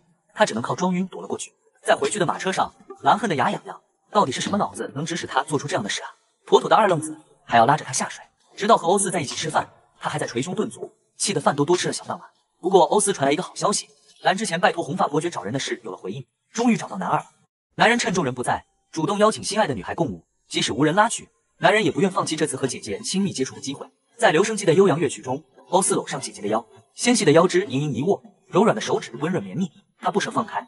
兰抬头注视着弟弟的侧脸，才多久没注意，他又变得更结实。少年的青涩感完全褪去，男性的气息扑面而来。兰的舞技实在糟糕，都不知道踩弟弟了多少脚。欧斯毫不在意，是我舞技还不够精湛，才会让姐姐一直踩到我。看着女孩微乱的头饰，他想摘下来，姐姐却觉得发饰戴着漂亮些。他放下手，自然的挽上姐姐的手臂。我送你回房间吧。兰有些惊讶弟弟的体贴，无微不至的模样让他内心暖暖的，连睡梦中都是愉悦的。没过多久。精灵给兰送来了一把剑，是之前女孩拜托他打住的精灵之剑，通透的象牙白显示着这把剑上等的品质。欧斯的生日礼物准备好了，就等着看他收到礼物的表情了。一周之后，一位不常见的客人前来拜访，兰拜托红发伯爵找男二的事有消息了，但想把卢米带到这里还有点麻烦。他现在处境不算好，而且还有一个妹妹，两人不可能分开。他们还提出要见见兰。女孩正坐在椅子上思考着之后如何打算，完全没发现身后靠近的人影。直到欧斯出声说道：“要我帮你按摩吗？”她被吓得一激灵，红茶都洒在裙子上了。欧斯一边道歉一边蹲下身帮姐姐擦拭，女孩看着明显的印子，看样子是洗不干净了。欧斯让姐姐把裙子扔了，反正也是母亲的旧衣服。兰有些好奇弟弟是怎么发现衣服是旧的，他还以为修补的很完美呢。在欧斯眼中，姐姐并不适合这么深沉的颜色，她应该是属于温柔淡雅的颜色。你适合温柔的颜色。低沉的话语让兰内心涌起一股异样的感觉。腹黑弟弟发现姐姐瞒着他，私底下在找其他男人，怎么会这样？是自己还不够好吗？欧斯追问起姐姐与伯爵的谈话内容，姐姐心虚的模样让男人的嫉妒心作祟，他摆出受伤的表情。你不能信任我吗？女孩揪着衣角，不知道该如何面对，内心又愧疚又心虚。欧斯见目的达到，不再继续追问。夜深人静，一封秘密书信送到男人书房。一个奴隶，姐姐为什么要瞒着他，大费周章的去找一个奴隶？这个人很重要吗？欧斯想不明白。他让暗卫继续跟着他。处理好事情后，男人走向练剑场，他需要发泄一下，却遇见同样没睡的姐姐。男看着弟弟，漫漫长夜，我和你学学剑术吧。男人欣然答应。注意到姐姐又没穿鞋，欧斯皱了皱眉，不由分说的抱起姐姐。夜晚的气温很低，他不想姐姐再生病。女孩被突如其来的腾空吓了一跳，惊呼出声。在暗处的护卫立刻冲出来，以为家主遭遇危险。相拥的二人盯着气喘吁吁的护卫，刚才还浪漫的氛围瞬间凝固。男人一脸不爽的看着破坏气氛的罪魁祸首：“你没事吧？”护卫从没见过自家少爷如此生气的模样，冷汗连连。欧斯赶走护卫，吩咐他去给姐姐找双鞋来，然后继续盯着姐姐：“你是不是约了什么人？”女孩否认。双手却环住弟弟的脖子，整个人都挂在欧斯身上。男人轻微抖动了一下，馨香柔软的躯体让他不忍放手。欧斯抱着姐姐一路走到练剑场，他给姐姐演示最基础的剑术。兰坐在一旁捂着嘴，我个战五渣一定做不来。护卫喘着气送来鞋，可算是拿来了。欧斯接过鞋，非常自然的单膝跪下，给女孩穿上。女孩惊讶弟弟如此温柔体贴，她有些慌乱的叫着弟弟的名字，不知道为什么他做的如此理所应当。兰摆着手，一脸涨红，心跳越来越快。你以后千万不要随便对别人做这种事。不然别人会误会的。兰慌张的跟欧斯嘱咐着，欧斯却表示自己也不是对谁都这样。兰有些难以置信，难道他把我当姐姐才会这样？看着欧斯为自己展示剑法的身影，兰只觉得自己的心脏在这一刻清晰的跳动起来，他感觉自己很不对劲，好像快要失控了。好色狡诈的皇太子被女孩迷得神魂颠倒，他盛情邀请兰参加舞会，都被女孩用各种理由搪塞过去。皇太子隐隐不满，不知谁走漏风声，周围的人私底下都对他议论纷纷，被一些地位不如他的人嘲笑诋毁。皇太子感到一阵恼火，再也忍不下去，他决定去找父皇。下三滥的手段，经由权贵的手都会有个冠冕堂皇的理由。父皇一直垂涎拉齐亚的财富，他一定会帮自己的。皇帝下了封诏书，给予欧斯出入皇宫的自由。兰虽然觉得有点奇怪，但也不是不好。下次的舞会，弟弟就可以和他一同出席，并且这也是欧斯第一次踏入皇室的社交界，想想有点激动了。他双手合十，一脸笑意，得给弟弟做一身新衣服。看着女孩高兴的模样，男人垂眼，一口答应。拉齐亚下任家主出席舞会的消息传遍了整个社交圈，年轻有颜又有钱的帅气男人成为众多贵族小姐的梦中情人，这谁能不爱？当然，除了姐姐，两人盛装出席舞会，一出场便吸引了所有人的目光。兰被众人的目光盯着，有点不好意思，拿扇子挡住脸，轻声说道：“大家怎么都在看着我们？”人们直白的目光让两人浑身不自在。这时，皇后走了过来，她热情地对着姐弟俩打招呼。兰向皇后介绍自己的弟弟，一个绅士的文手礼让皇后心花怒放。兰注意到舞池另一边的太子妃，她也过来了。女孩有些担心会惹上麻烦，毕竟现在的欧斯实在是太引人注目了，挺拔笔直的身躯，英俊帅气的面容，哪一个贵族小姐经过不看他一眼？兰手紧握着，他不禁担心，万一太子妃看上欧斯了怎么办？女主角还没登场呢，她紧张的搓手。男人注意到姐姐莫名慌乱起来，不知道在乱七八糟的想些什么，他皱着眉叫了声姐姐。兰还没回过神，直愣愣的看着弟弟，连皱眉都那么帅。直到欧斯有叫了他一声，女孩才回过神。怎么了？欧斯又一次朝姐姐伸出手，和我一起跳舞吧。这回女孩不再犹豫，一脸灿烂的把手放在弟弟掌心。弟弟太爱我了，怎么办？男人苦练舞技，只为和姐姐跳一支完美的双人舞曲。轻盈的步伐，合拍的节奏。身为踩脚大师的兰破天荒觉得自己有跳舞的天赋。他看着帅气的弟弟，依旧是湛蓝无波动的眼睛，但倒映着的波浪裙摆透露了弟弟那颗止不住跳动的心。兰高兴地对着欧斯说道。你的舞步精湛很多呀，因为姐姐没办法再进步了，就只能我努力提升才行。欧斯看着呆呆的姐姐，一脸笑意。在一旁围观的贵族小姐们看见男人帅气英俊的笑容，纷纷投来视线，七嘴八舌的议论着。还未正式踏入皇室社交界时，关于男人的传闻并不少。这一次的亮相击碎了不好的传言，人们只看见了一个帅气多金、有颜有权的单身欧小五。贵族小姐们两眼发光，虎视眈眈。兰觉得不妙，再这样下去，弟弟就要被抢走了。女主角面都还没见上呢，她得赶紧给欧斯打上预防针。女孩抓紧弟弟的手臂，认真又急切地告诉弟弟：“你一定要和命中注定的人在一起。”突如其来的话让男人愣住，不明白姐姐为何会这么说。女孩有些难为情：“未来的公爵夫人得让我爸把关才行。”她抬眼偷瞄弟弟的表情，发现欧斯目不转睛地注视着她，以为是弟弟在无声反驳。女孩小声说道：“自己喜欢才是最重要的。”欧斯只是告诉姐姐自己不着急结婚。男有些窘迫：“是自己管的太多了吧？可是男女主就应该在一起啊！”男人看见女孩快要陷入低沉的情绪，他用力搂紧姐姐的手臂，姐姐别不开心，继续跳舞。曲子一结束，瞅准机会的贵族小姐们一拥而上，把欧斯围得水泄不通。俺想趁现在偷偷溜走，没想到被弟弟一把抓住。你要去哪里？面色阴沉的可怕。周围的小姐们也对蓝投来敌对目光。被吓到的姐姐立刻逃出包围圈，她寻了个角落自己享受着。这时二皇子走来，二人开始闲聊。没想到另一位不速之客也凑上来搭话，颇好事的问蓝：弟弟如此帅气，你很心动吗？毕竟你们也不是亲姐弟。蓝微笑着打哈哈，实在是受不了这暗里藏刀的谈话。二皇子主动邀请蓝跳舞。两人终于远离了那个疯狂的女人。不过眼下又有一个难题，他不会跳舞啊，只有欧斯才能配合上他的舞。原本还不幸的二皇子被女孩杂乱无章的步伐踩到怀疑人生，蓝羞愧的不敢抬头，丢脸丢到外人面前。然而一抬头就看见了让他震惊的画面，欧斯居然和太子妃那个可怕的女人在跳舞。男主弟弟为什么要和恶毒女配跳舞啊？蓝不理解。看见共舞的场景，他惊得下巴都要掉了。姐姐丝毫没有在跳舞的心思，太子妃似乎被欧斯迷住了，这该怎么办？蓝很担心，束手无策的感觉太糟了。失魂落魄的模样让二皇子以为蓝喜欢欧斯，看见欧斯和皇嫂共舞吃醋了，他提出出去散散步。女孩没想什么跟着就走，但止不住的往一侧偷瞄。二皇子忍不住好奇，他悄悄问道：“你是不是喜欢你弟弟啊？”一声雷炸在耳边，刚才还苦兮兮的女孩立刻慌乱解释：“我不是我，没有别瞎说。”察觉到自己的失态，蓝绞着裙摆，干嘛这么紧张？也许太子妃还没喜欢上欧斯呢，自己还能阻止这件麻烦事呢。蓝回过神向二皇子道歉，刚刚被他们跳舞的画面冲击到，都变得不淡定。不过他现在和二皇子又走到了谷，看着和白天毫不一样的景色，没什么好看的地方。不过这正好适合男女幽会。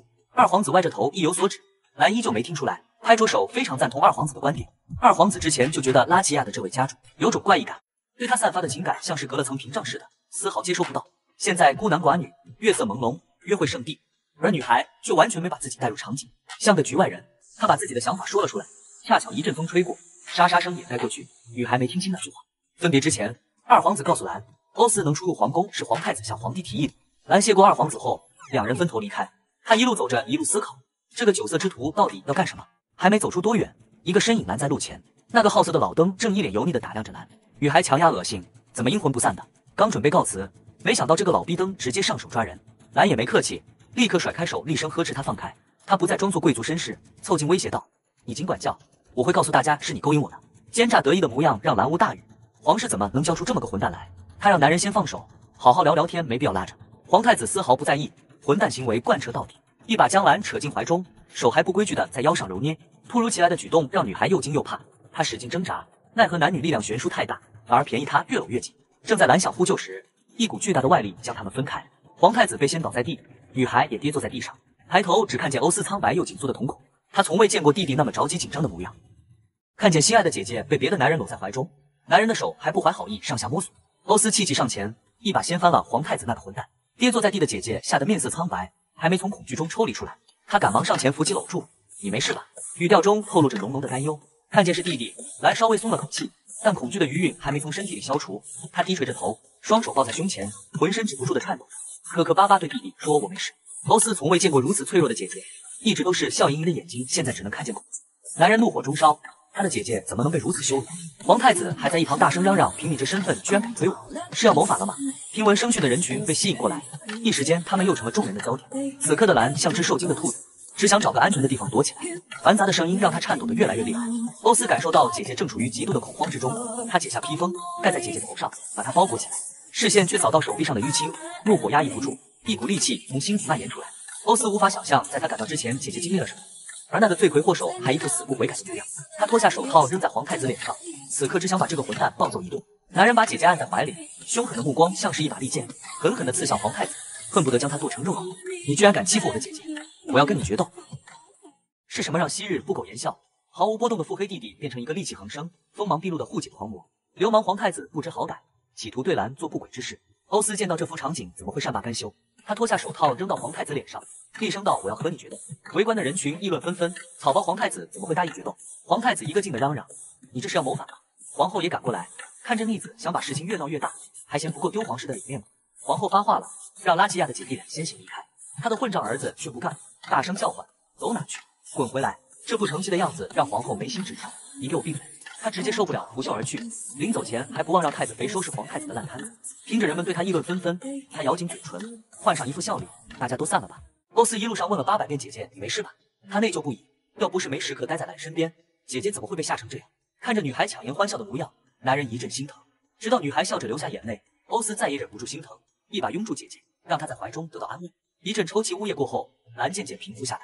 欧斯的怀抱温柔又有力，让她安心极了。此刻她一把鼻涕一把泪的模样，在面对弟弟有些不好意思。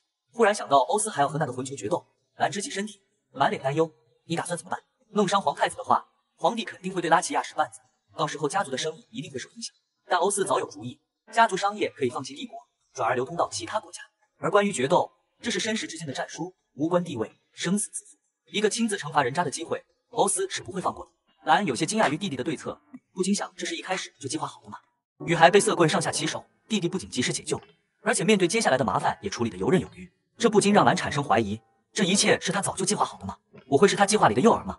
这个念头刚划过脑海，欧斯像是有了读心术般回答道：“当然不是。”兰呆住了：“我刚刚说话了吗？”弟弟解释道：“你的表情太明显了，我不会是当诱饵了吧？”几个大字明晃晃写在脸上，女孩捧着脸，有些惊慌。这么明显吗？看着姐姐终于恢复了些精神，欧斯语气认真：“我怎么会让你当诱饵呢？而且这场决斗我一定会参加。”他当然不会放过教训那个混蛋的机会。即使皇太子不愿亲自上场，但他们决斗的消息可是传遍了贵族圈。皇帝碍于脸面，一定会让草包太子自己上场收拾局面。只要他们父子两人生出间隙，继承人位置的归属可就说不定了。敏锐的嗅觉和超强反应力让兰感觉到害怕。他怎么能在这么短的时间内思量出这些举措呢？女孩有些发冷，姐姐，和我一起回拉齐亚吧。面对弟弟又一次朝他伸来的手，要是和他站在对立面，也会被这样算计吗？但欧斯那时担忧又紧张的表情，却是之前从未见过的。兰相信他。欧斯拉住姐姐的手，露出一个温柔的笑容，这也是兰很少见到的表情。你是不是把我当亲姐姐了？兰欣喜问道。欧斯斩钉截铁，怎么可能？女孩有些受伤，不过没关系，现在关系已经改进很多了。只要有欧斯在，一切都会好很多。蓝整个松懈下来，沉入睡梦。见姐姐熟睡，欧斯轻柔地擦拭着姐姐眼角的泪痕。如果我要再迟一步，那个人渣就要得手了。回忆着当时的场景，欧斯眼里的杀意像藏不住似的肆意倾泻。回去之后，我可要好好准备这场决斗。女孩困倦地靠在弟弟肩上，温热湿如的一小块，让他发觉姐姐流泪了。欧斯轻柔擦拭，一想到姐姐被那个混蛋搂在怀里，心中的戾气止不住的冒出来。要是再晚一步，那个人渣就要得手了。他必须解决掉这个麻烦。欧斯抱着姐姐回到住处，侍从看着面色不善的少爷，有些紧张。又发生什么事了吗？男人让他把心腹重臣叫到书房，接下来有话要谈。姐姐依旧在熟睡中，欧斯有些不忍将她叫醒。蓝睡眼惺忪，怎么会拱门了？弟弟告诉他，现在还有一件事情要办，今天发生的事情需要告诉家臣们，之后的风言风语很可能会让他们陷入慌乱。女孩打起精神，我换一件衣服整理一下。得知家主今晚的遭遇，一众臣子们愤慨不已，必须抗议皇太子的行为。欧斯稳住大臣。明天姐弟俩要去觐见皇帝，试探他的态度。南长吁一口气，今天晚上召见大家是提前打好预防针，今晚过后一定会有很多言论传播，其中不乏别有用心的人趁机抹黑拉齐亚。既然这样，不如拉齐亚率先一步占领舆论的高地。皇太子故意欺负无依无靠、手无缚鸡之力的拉齐亚家主，这个情节足够大家津津乐道。突然一声轻笑传来，欧斯调侃：无依无靠、手无缚鸡之力吗？女孩有些得意，难道说的不就是我这个弱女子？欧斯的笑意更深，明明就是一个很可爱清纯的女孩。突如其来的直白夸奖让蓝的心跳漏了一拍，怎么回事？砰砰的声音震得他胸腔发烫，脸色发红。蓝捂着手臂，真的太害羞了。欧斯似是没看到姐姐的窘态，自顾自的说道：“比起舆论战，我还是喜欢简单直接一点。不过，只要言论传播出去，皇太子的支持率一定会降低。处理好事情之后，困意又蔓延上来。”女孩糊着眼睛到了声晚安。等姐姐走远，欧斯扯起嘴角，看来他得见见二皇子了。姐弟俩换身衣服去见皇帝，兰特意挑了件颜色素雅的裙子。脸上未施粉黛，整个人显得憔悴不已。她毕恭毕敬地向皇帝行礼，孱弱苍白的模样，似是一阵风能把她刮走。女孩哽咽地向皇帝道谢：“要不是您让我弟弟能自由出入皇宫，我才能平安站在这，这还得托陛下的福啊。”皇帝也有些尴尬，假装听不懂话外之音：“起来吧。”没想到女孩呜咽更甚，靠在欧斯怀中，眼角的泪都沁了出来。欧斯搂住姐姐：“陛下见谅，姐姐一定是太害怕了。”两人一唱一和，把皇帝吓得下不了台，捂着嘴直咳嗽。这时，欧斯后退一步，单膝跪地：“陛下，我想为姐姐证明，请务必允许我参加决斗。”兰被吓了一跳，他并没想要弟弟参加这场危险的战斗，谁知道皇太子那个阴险狡诈的小人还会耍什么花招？皇帝同意了这场决斗。回去的路上，兰有些心疼弟弟，明明自尊心那么强，又那么讨厌皇帝父子二人，却为了达到目的，二话不说就跪下。他由衷的佩服欧斯，真厉害，不愧是我弟弟。你还打算叫我弟弟吗？清冽的嗓音中暗含无奈，眉头微皱。你真的想成为我的姐姐吗？女孩似是不懂欧斯为何突然这样说。一直以来，他都把欧斯当弟弟，但真的是弟弟吗？那几次的心跳真的是亲情吗？蓝呆愣住，他从未仔细思考这份不可名状的情感到底归属于什么。看见姐姐呆愣又迷茫的表情，欧斯拉住女孩的手：“我并不是在逼迫你，只是弟弟这个称呼我很不喜欢。”为什么？女孩有些疑惑，男人却拉住她的手，语调神秘又温柔：“总有一天我会告诉你的，那个时候你要做好心理准备。”这个气急败坏的男人是帝国的皇太子。只因撩妹失败被男主要求决斗，哪知这个草包有色心有色胆，却没有保护自己不被揍的能力。他怒火中烧，朝着自己的妻子嚷嚷：“你也敢教训我？”太子妃缩在一旁，她的混蛋丈夫借着自己的权势到处欺凌少女，哪里会舞枪弄剑？可太子妃现在还不能丢掉皇太子这张牌，计划还没成功，她还得忍耐。眼下舆论全倒向拉齐亚，情况很不利。太子妃好言相劝：“殿下，我们先避开决斗。”话还没说完，皇太子把火撒在妻子身上，一个茶杯摔在墙上：“你敢指责我？连个孩子都生不出来，要你有什么用？”太子妃没想到自己的丈夫居然会这么恶语重伤她，隐忍负重这么久，她终于对皇太子失望了。你干脆死在决斗中好了，成为遗孀，大家还会多同情我一些。离决斗的日期越来越近，兰的好友邀请欧斯与她的丈夫卡洛克侯爵一起练剑。卡洛克侯爵得知有机会霍拉齐亚下任家主切磋的机会，激动不已，居然是陪练而不是教授。看来欧斯对自己的剑术很有信心啊。女孩认真的朝侯爵道谢，她虽然对弟弟很有信心，但还是担心欧斯会受伤，并且现在来有种厚重的无力感。在原著中，无论是领地战争还是决斗都没有出现，但这些事情却围绕着他发生了。要是这一次决斗中欧斯出事了，他一定不会原谅自己的。作为家族继承人而培养的男主，从小就被母亲教育要对家和亲情的感觉异常淡漠，要冷血，要果断，没有弱点。而姐姐却是这空缺部分唯一的光。欧斯塔夫，你千万不要相信爱情。如果有一天你爱上了某个人，甚至想要完全拥有，那就杀掉他。与侯爵对练了一整天的欧斯，此时疲惫的泡在浴缸中。母亲曾经交代过，如同拥有人浮现在脑海中，水落滴灯。欧斯心中已经有了答案。欧斯从小上学便是单独一人，即使是放假的日子，他也从未回去。家中冰冷的气氛让他感到窒息，与家人从未有过亲密之举。后来，姐姐经常写信问欧斯为什么不回来，少年只觉得这是客套话。如果真想见他，怎么不自己过来呢？于是欧斯对那些锲而不舍的信熟视无睹，就像那些信封一样，无视他，他就不会再继续了吧。但信依旧在继续，那道身影也一直在他的脑海里晃荡。欧斯的同学都看不下去，指责他过于冷漠，但少年只是捧着书不为所动。然而兰一直坚持着，终于欧斯受不了同伴的谴责，走向了那抹温暖柔和的身影。仅仅是站在窗前，姐姐便一脸欣喜地奔赴过来，外表的冷漠与麻木像是被姐姐温暖的笑容刺痛了般，落荒而逃。他转头离开，再一次见到姐姐就是父母的葬礼了。是什么让你那么执着呢？姐姐是一个藏不住自己情绪的人，却能稳坐家主之位，这让欧斯十分质疑从小听到大的教诲。欧斯，你千万别受伤。兰十分担心几天后的决斗。而欧斯却是一边轻轻的回应着“我不会有事”，一边温柔的抚上姐姐的脸颊，手心间传来的温暖让兰有些羞涩。为什么要对我这样呢？即将到来的决斗让兰的情绪十分低落，实在是太担心弟弟会受伤了。两人之间微妙的气氛让闺蜜都忍不住好奇：“你弟弟是不是喜欢你啊？”兰有些愣住，但很快否定了。其实她心里根本不把我当姐姐看来着，我们俩之间只是各取所需的同门关系。得到这样答案的闺蜜也只是看破不说破。到了晚饭时间，在欧斯洗漱完后，兰也精心打扮了一番。欧斯已经迫不及待想要见到姐姐了，你就不能等我去整你？兰虽是嘟囔着抱怨，但还是自然的挽上了弟弟的手。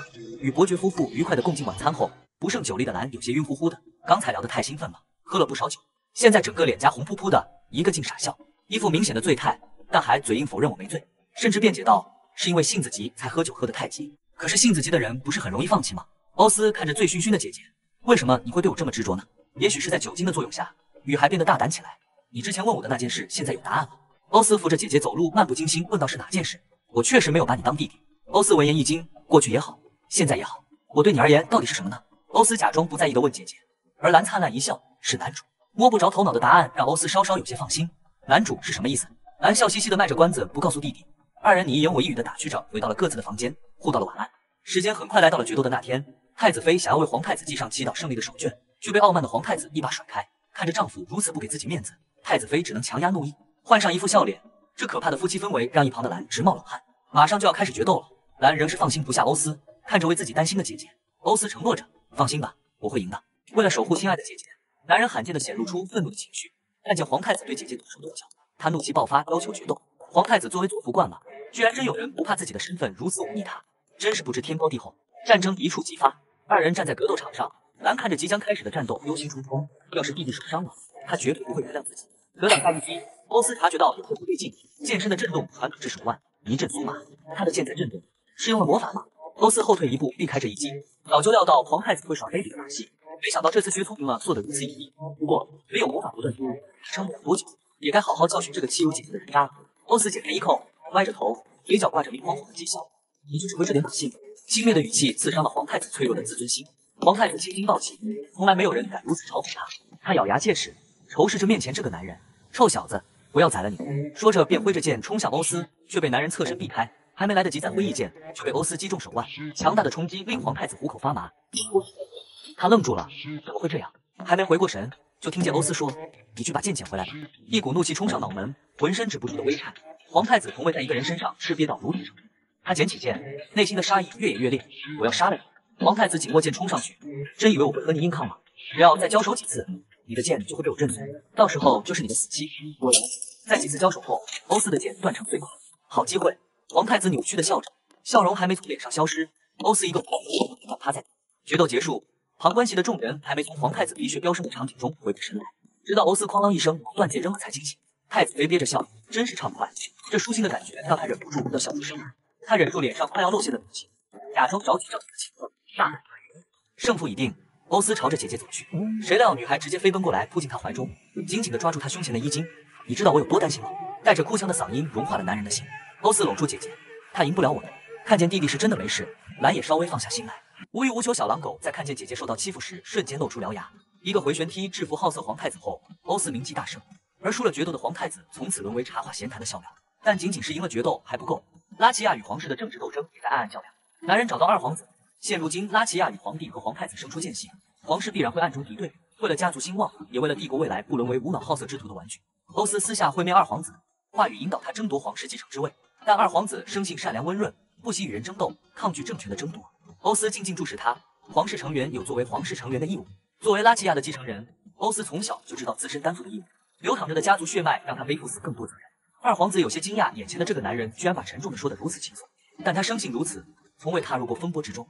欧斯也没想仅凭一面会谈便能让他改变主意。他放下茶杯，礼貌告辞。独留二皇子仔细思考。另一边，兰正在写信给伯爵，询问寻找男二的情况。忽然传来淅淅沥沥的水滴声，原来是下雨了。湿润的泥土气息和清冽的微风让女孩莞尔。她撑着下巴看着外面的景色，察觉到家主是想出去赏景。女仆立刻问道：“要不要去庭院喝茶？”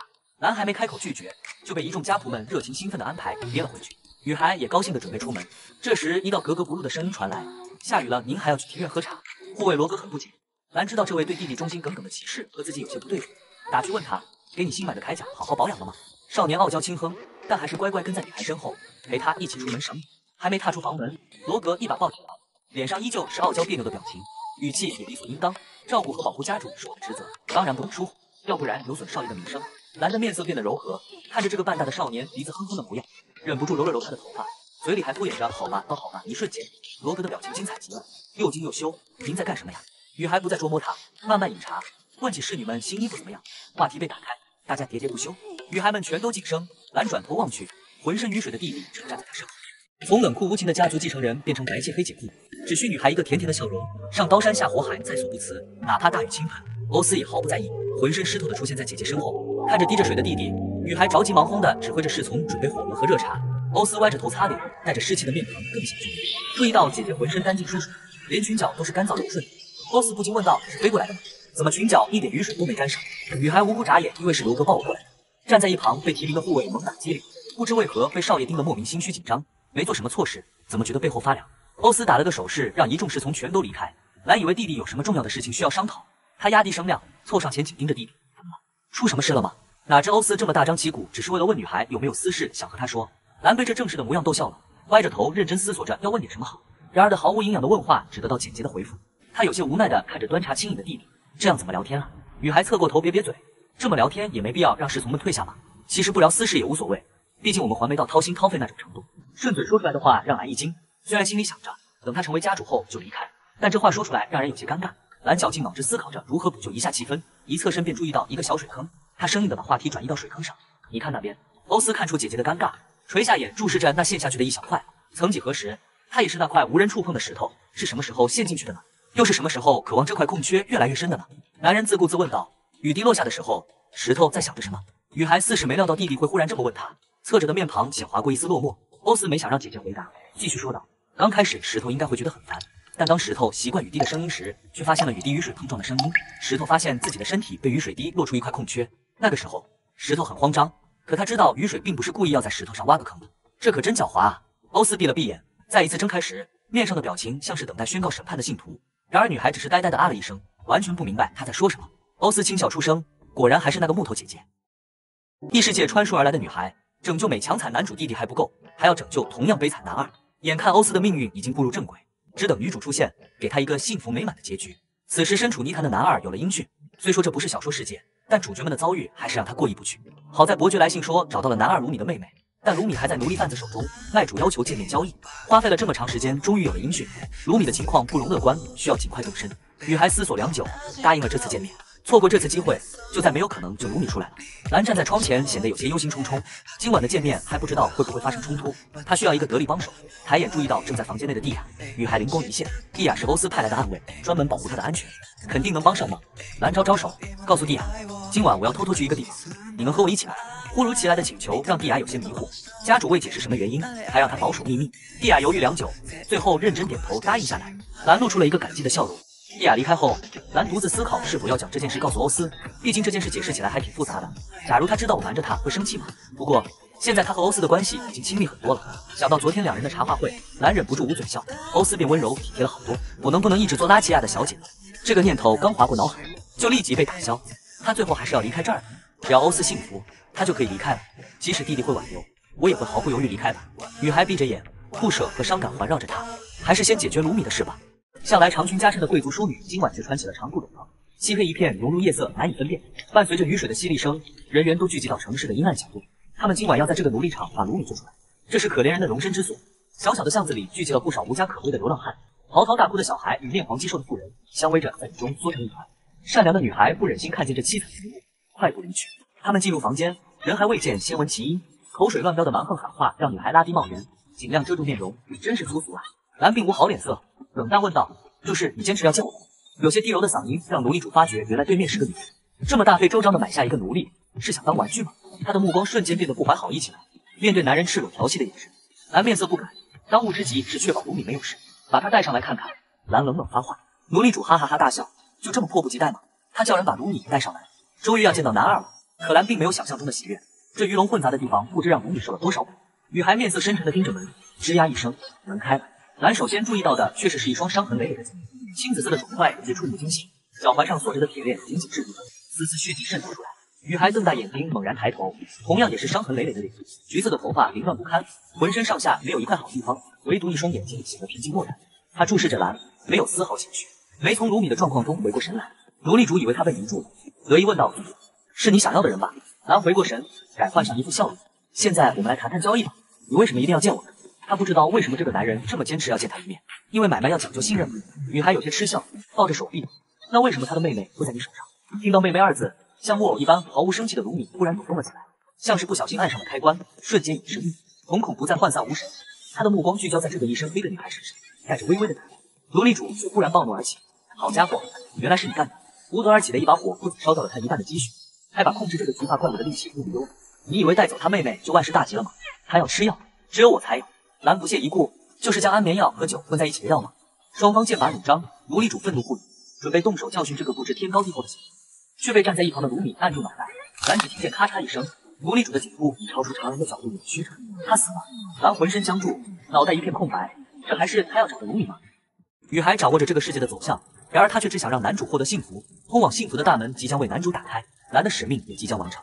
但他还想再做一件事，就是让同样命运悲惨的男二有个归宿。为了营救男二，女孩瞒着弟弟以身犯险，没想到事情却超出了他的掌控范围。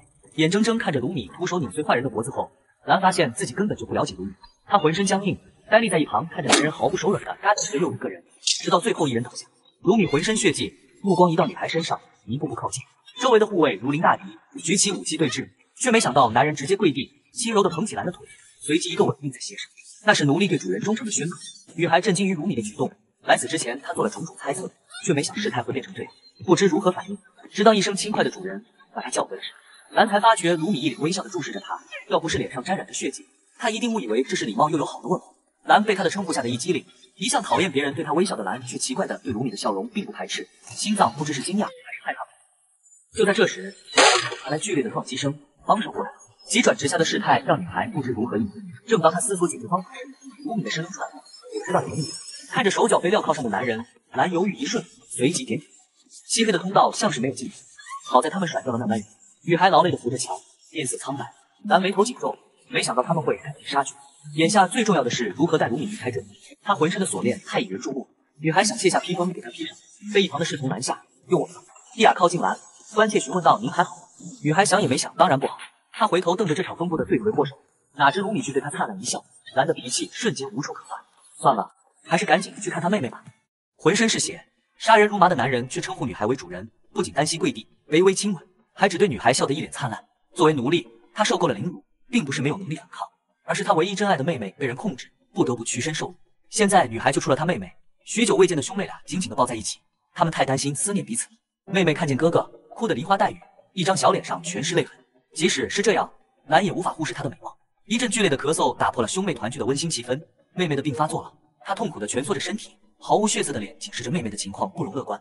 蓝立即指挥侍从叫医生，自己则上前扶着已经快要晕厥的小女孩。之前因为生过大病，所以蓝有些经验。他抬高小女孩的头，确保呼吸顺畅。还没等放下心来，他的手指被小女孩无意识咬住，剧烈的疼痛让他下意识的想把手甩开，然而发觉小女孩是犯了癫痫，为了不让她咬到舌头。蓝忍着疼痛，用力撑开她的口舌。好在没一会儿，小女孩平静下来，蓝也抽出了手。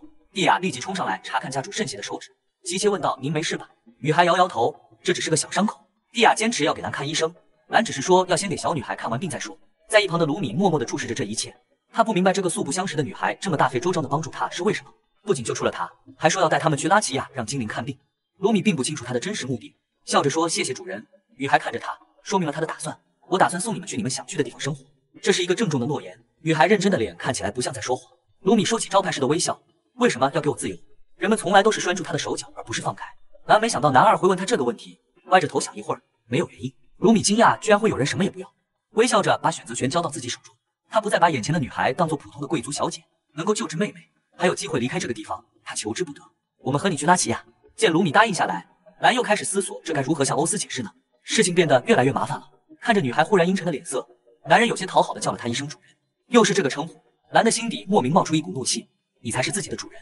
一声大吼让男人以为他生气了，扑通一声跪下来，嘴里大声道歉。雨还被他跪在地的举动吓了一大跳，立刻靠近他。我没有对你发火，你不用这样。察觉到卢米完全不懂普通人之间的相处方式，他扶了扶额，算了算了，你也受了很多苦。他这个模样太像条犯错求和好的大狗狗了。女孩伸手揉了揉他的头发，像是哄宠物般。你快去休息吧，我们也该回去了。只留下有些无辜瞪眼的男二。终于回来了，女孩身心俱疲，此刻她只想好好躺在床上睡觉。男有些困倦的撑着眼。却没想到，在黑暗中看见一双湛蓝的瞳孔，眼中压抑着一股说不明的情绪。欧斯怎么会守在这儿？雨孩瞒着弟弟偷偷出门拯救男二，回来却发现男主弟弟正一脸阴沉的等着他。上来就问你去哪了。男从未见过情绪如此波动的欧斯，但此刻的他疲惫不堪，刚刚经历的一场混战已经消耗了所有的精力，现在为隐隐作痛。能以后再聊吗？我现在太累了。男回避着弟弟的目光，脸侧向一旁。欧斯径直走来，扯下姐姐头上湿漉漉的帽子，浓重的湿气让他担心姐姐又会生病。蓝本就精疲力竭，弟弟的举动让他一个踉跄，一只手揽过他的腰，紧紧环住。女孩才堪堪站稳。你身上有血腥味，欧斯皱着眉，面色阴沉的能滴水。浓重的血腥味让他不得不担心姐姐的安危。但看见女孩疲惫又苍白的脸色，欧斯一阵心疼，一把抱起姐姐，不由分说的带她来到自己的房间。蓝被他的举动吓了一大跳。我会弄湿你衣服的。男人没有搭话，只是轻柔的将女孩放在长椅上。他伸手解开女孩湿哒哒的斗篷。你手指是怎么伤到的？从抱住姐姐的时候，他就发现了这个深深的牙印。兰有些困倦，任由弟弟解开他胸口的结绳。这种小伤没关系的，不用担心。话还没说完，就被欧斯接下来的动作打断。眼看欧斯要帮他脱鞋，女孩立刻出声打断：“不用了，我的鞋太脏了。”兰坐立难安的想抽回腿，哪知欧斯不由分说的按住他的腿，把又湿又脏的鞋脱了下来。男人一边擦着满是污泥的手，一边继续追问：“你真的不打算告诉我，今天晚上干什么去了吗？”兰见瞒不过去，今晚的欧斯太执拗了，他只好解释道：“我的一个熟人被卖去了斗兽场，我想把他买下来。他的妹妹得了重病。”我想带他们去拉齐亚治病，弟弟却问道：“你们是怎么认识的？这个你也要问吗？”卢米的身份解释起来太过复杂，兰以为欧斯担心他们会给拉齐亚带来麻烦，立刻保证道：“他不会给家族带来麻烦的，你可以放心。”欧斯这才察觉姐姐完全不清楚自己为何生气，他沉默了一瞬，环着手臂说道：“你不是答应过我在我当上家主之前是不会死的吗？”兰有些弄不清楚状况，弟弟是因为这个才生气的吗？可是我没有死啊！男人有些哽住，这不是重点，为什么不让护卫跟着你一起去？要是发生意外怎么办呢？蓝满脑子却在想。明天要是有传言拉齐亚伯爵破坏竞技场怎么办？发觉姐姐完全听不懂自己的担心，欧斯紧咬嘴唇，气急冲上前。你知道我是以什么心情等你回家的吗？他的手克制不住的捶在椅子上。见弟弟如此暴怒，担惊受怕了一晚上的蓝也有些脾气。我没有胡来，你怎么就不相信呢？现在我才是家主，没必要所有的事都和你汇报。男人浑身一震，气氛瞬间降至冰点。欧斯后退一步，有些自嘲道：“是啊，我不应该对家主指手画脚。即使你拿生命开玩笑，我也没资格干涉。”兰被彻底激怒。欧斯以为自己在拿家主的地位压制他吗？他气急开口：“我会把家主之位还给你的，这个位置对你来说很珍贵，但是对我来说，察觉到自己在说什么，兰立刻止住嘴，但已经晚了，接下来的话说与不说都不重要了。兰懊悔的扶着额头，是我说的太过分了，我现在很累，所以有些胡言乱语。欧斯不再说话，长发遮住了他的眼睛，脸上的表情晦暗不明。我知道你是怎么看待我了，你休息吧。说罢，他转身径直离开。女孩一人独坐在黑暗之中，和弟弟的争执让她伤心不已。兰精疲力竭的倒在座椅上。第一次有人死在自己面前，他内心害怕极了，强撑到现在，脆弱无助和恐惧如潮水般涌来。女孩默默淌着泪，要是妈妈在就好了。哭了一小会，渐渐平息着睡着了。这时房门慢慢打开，兰完全不知道弟弟有多珍重她，就像现在，欧斯抱着熟睡的女孩回到房间，看着姐姐一脸的泪痕，弟弟心疼不已。他知道姐姐有自己的考量，但却总是把自身的安危抛之脑后，让人担心。兰一大早起来就发现自己喉咙发痒，浑身恹恹的，没有力气，不会是感冒了吧？不过在雨中饿着肚子走那么久，不感冒才怪。回忆起昨晚，但记忆却停留在那场不欢而散的争执中。我是什么时候回房间的？他疑惑地问在一旁端着药的蒂亚。是少爷抱您回来的。欧斯吗？女孩皱着脸喝下药，汽油般的味道让她连连吐舌。她要去洗个澡，换件衣服去见欧斯。重新装扮后，拦在欧斯的房门前踟蹰着，内心有些担心。要是弟弟不肯原谅她怎么办？她长吁一口气，推门而入。女孩探出半个身体，有些怯生生地叫了声欧斯。看见是姐姐过来，弟弟立刻停下手中的公务，连忙起身。你生病了，应该多休息一下。雨涵有些紧张的捉着衣袖，支支吾吾道：“那个，昨天晚上……”他紧闭着眼，一股脑将话吐出来：“我为昨天的话向你道歉，将他人真实的东西当面贬低，真是太过分了。他不应该伤欧斯的心。”蓝垂着头，紧张的等待着弟弟的答复。没关系，清冽的声音从头顶传来。欧斯靠近蓝姐姐，你其实就像七月的雨一样。看见女孩呆呆的模样，欧斯忍不住轻笑出声：“果然还是原来的姐姐。不再继续这个话题，回拉齐亚的计划要提上日程。我们明天回去吧，还要多带上两个人。他边说着边偷瞄弟弟的表情。欧斯面不改色，随便你。得到答复后，雨涵一扫之前的局促紧张，展开笑颜，甜甜的对弟弟说道：“谢谢。”欧斯，男人看着他因为高兴终于有些血色的面孔，忍不住弹了女孩的脑门。男有些发懵，怎么回事？欧斯也会这么幼稚吗？男人却理直气壮的说：“不知道。”情不自禁就动手了。男咳了两声，欧斯立刻紧张的问道：“还好吗？明天能出发吗？”蓝摆摆手：“我行着呢。”看着姐姐的固执模样，男人忽然凑近，抵着女孩的额头：“姐姐，我真的很担心你。”兰这才顿悟，原来弟弟昨天如此大火，是因为担心自己啊。他昨天都犯了些什么傻？但那句“我知道你是怎么看待我了”，却让女孩内心一跳，隐隐觉得自己好像错失了什么。不过想到欧斯一直牵挂着自己，女孩脸上泛起红晕，心里美滋滋的。原来有人担心的感觉是这么美好啊！她曾是饱受欺辱的奴隶，为了保护妹妹。男人不得不困身于斗兽场，受人控制。然而就在前天晚上，一个身披斗篷的神秘女孩将他和妹妹救出黑暗，还不求回报的要给他们自由。但卢米并不觉得幸运，他一定是别有目的才会伸出救援之手吧？拉齐亚的家主怎么会没有野心和欲望呢？他应该会拜托我杀掉他弟弟吧？卢米看着熟睡的妹妹，在奴隶主的控制下，兄妹俩几乎没有见过面。只要是为了莉莉，他什么都愿意做，哪怕谋杀贵族是死刑。次日，返回拉齐亚的马车出发了。车上的莉莉偷偷看着身边嘴角含笑的姐姐，她第一次见到这么漂亮的人。注意到丽丽正呆呆的看着自己，蓝内心一片柔软。饼干好吃吗？小女孩这才回过神，红着脸嗯了一声，继续埋头，像小仓鼠一般鼓着嘴，安静咀嚼。蓝内心握拳大叫，真的太可爱了。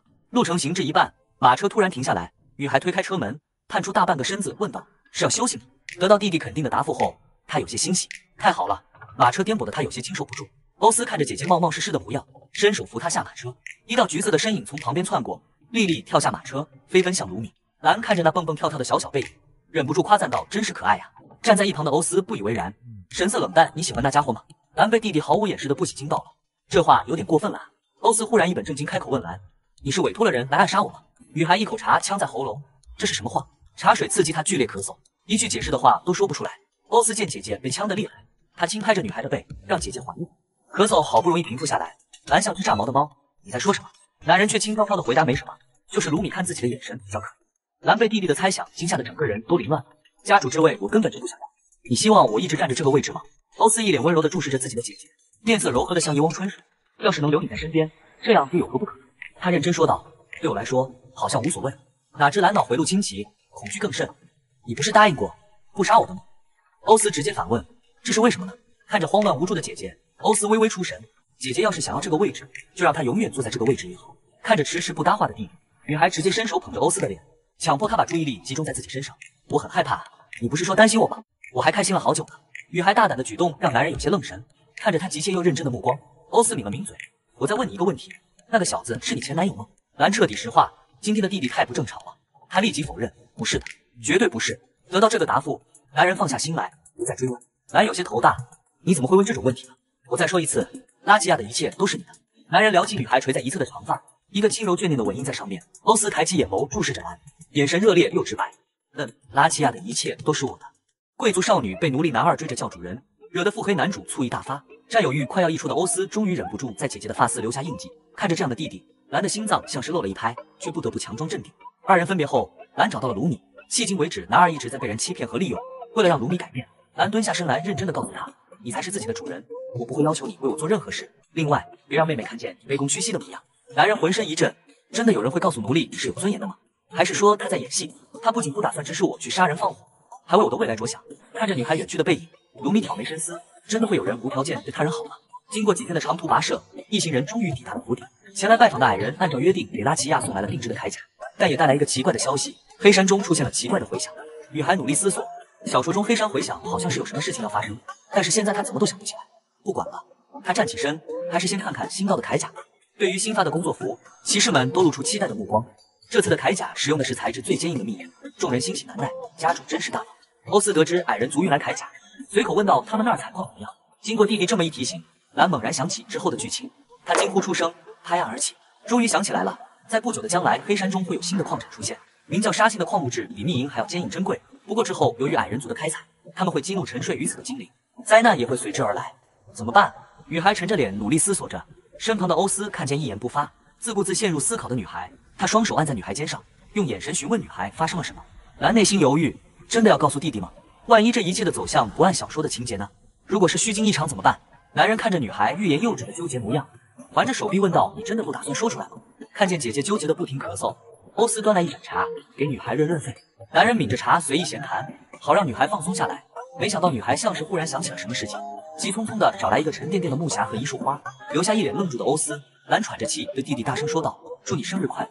这段时间太忙，以至于忘记了弟弟的生日，希望现在还能补救。”看着姐姐为自己精心准备的礼物，欧斯小心翼翼的捧起剑，仔细端详。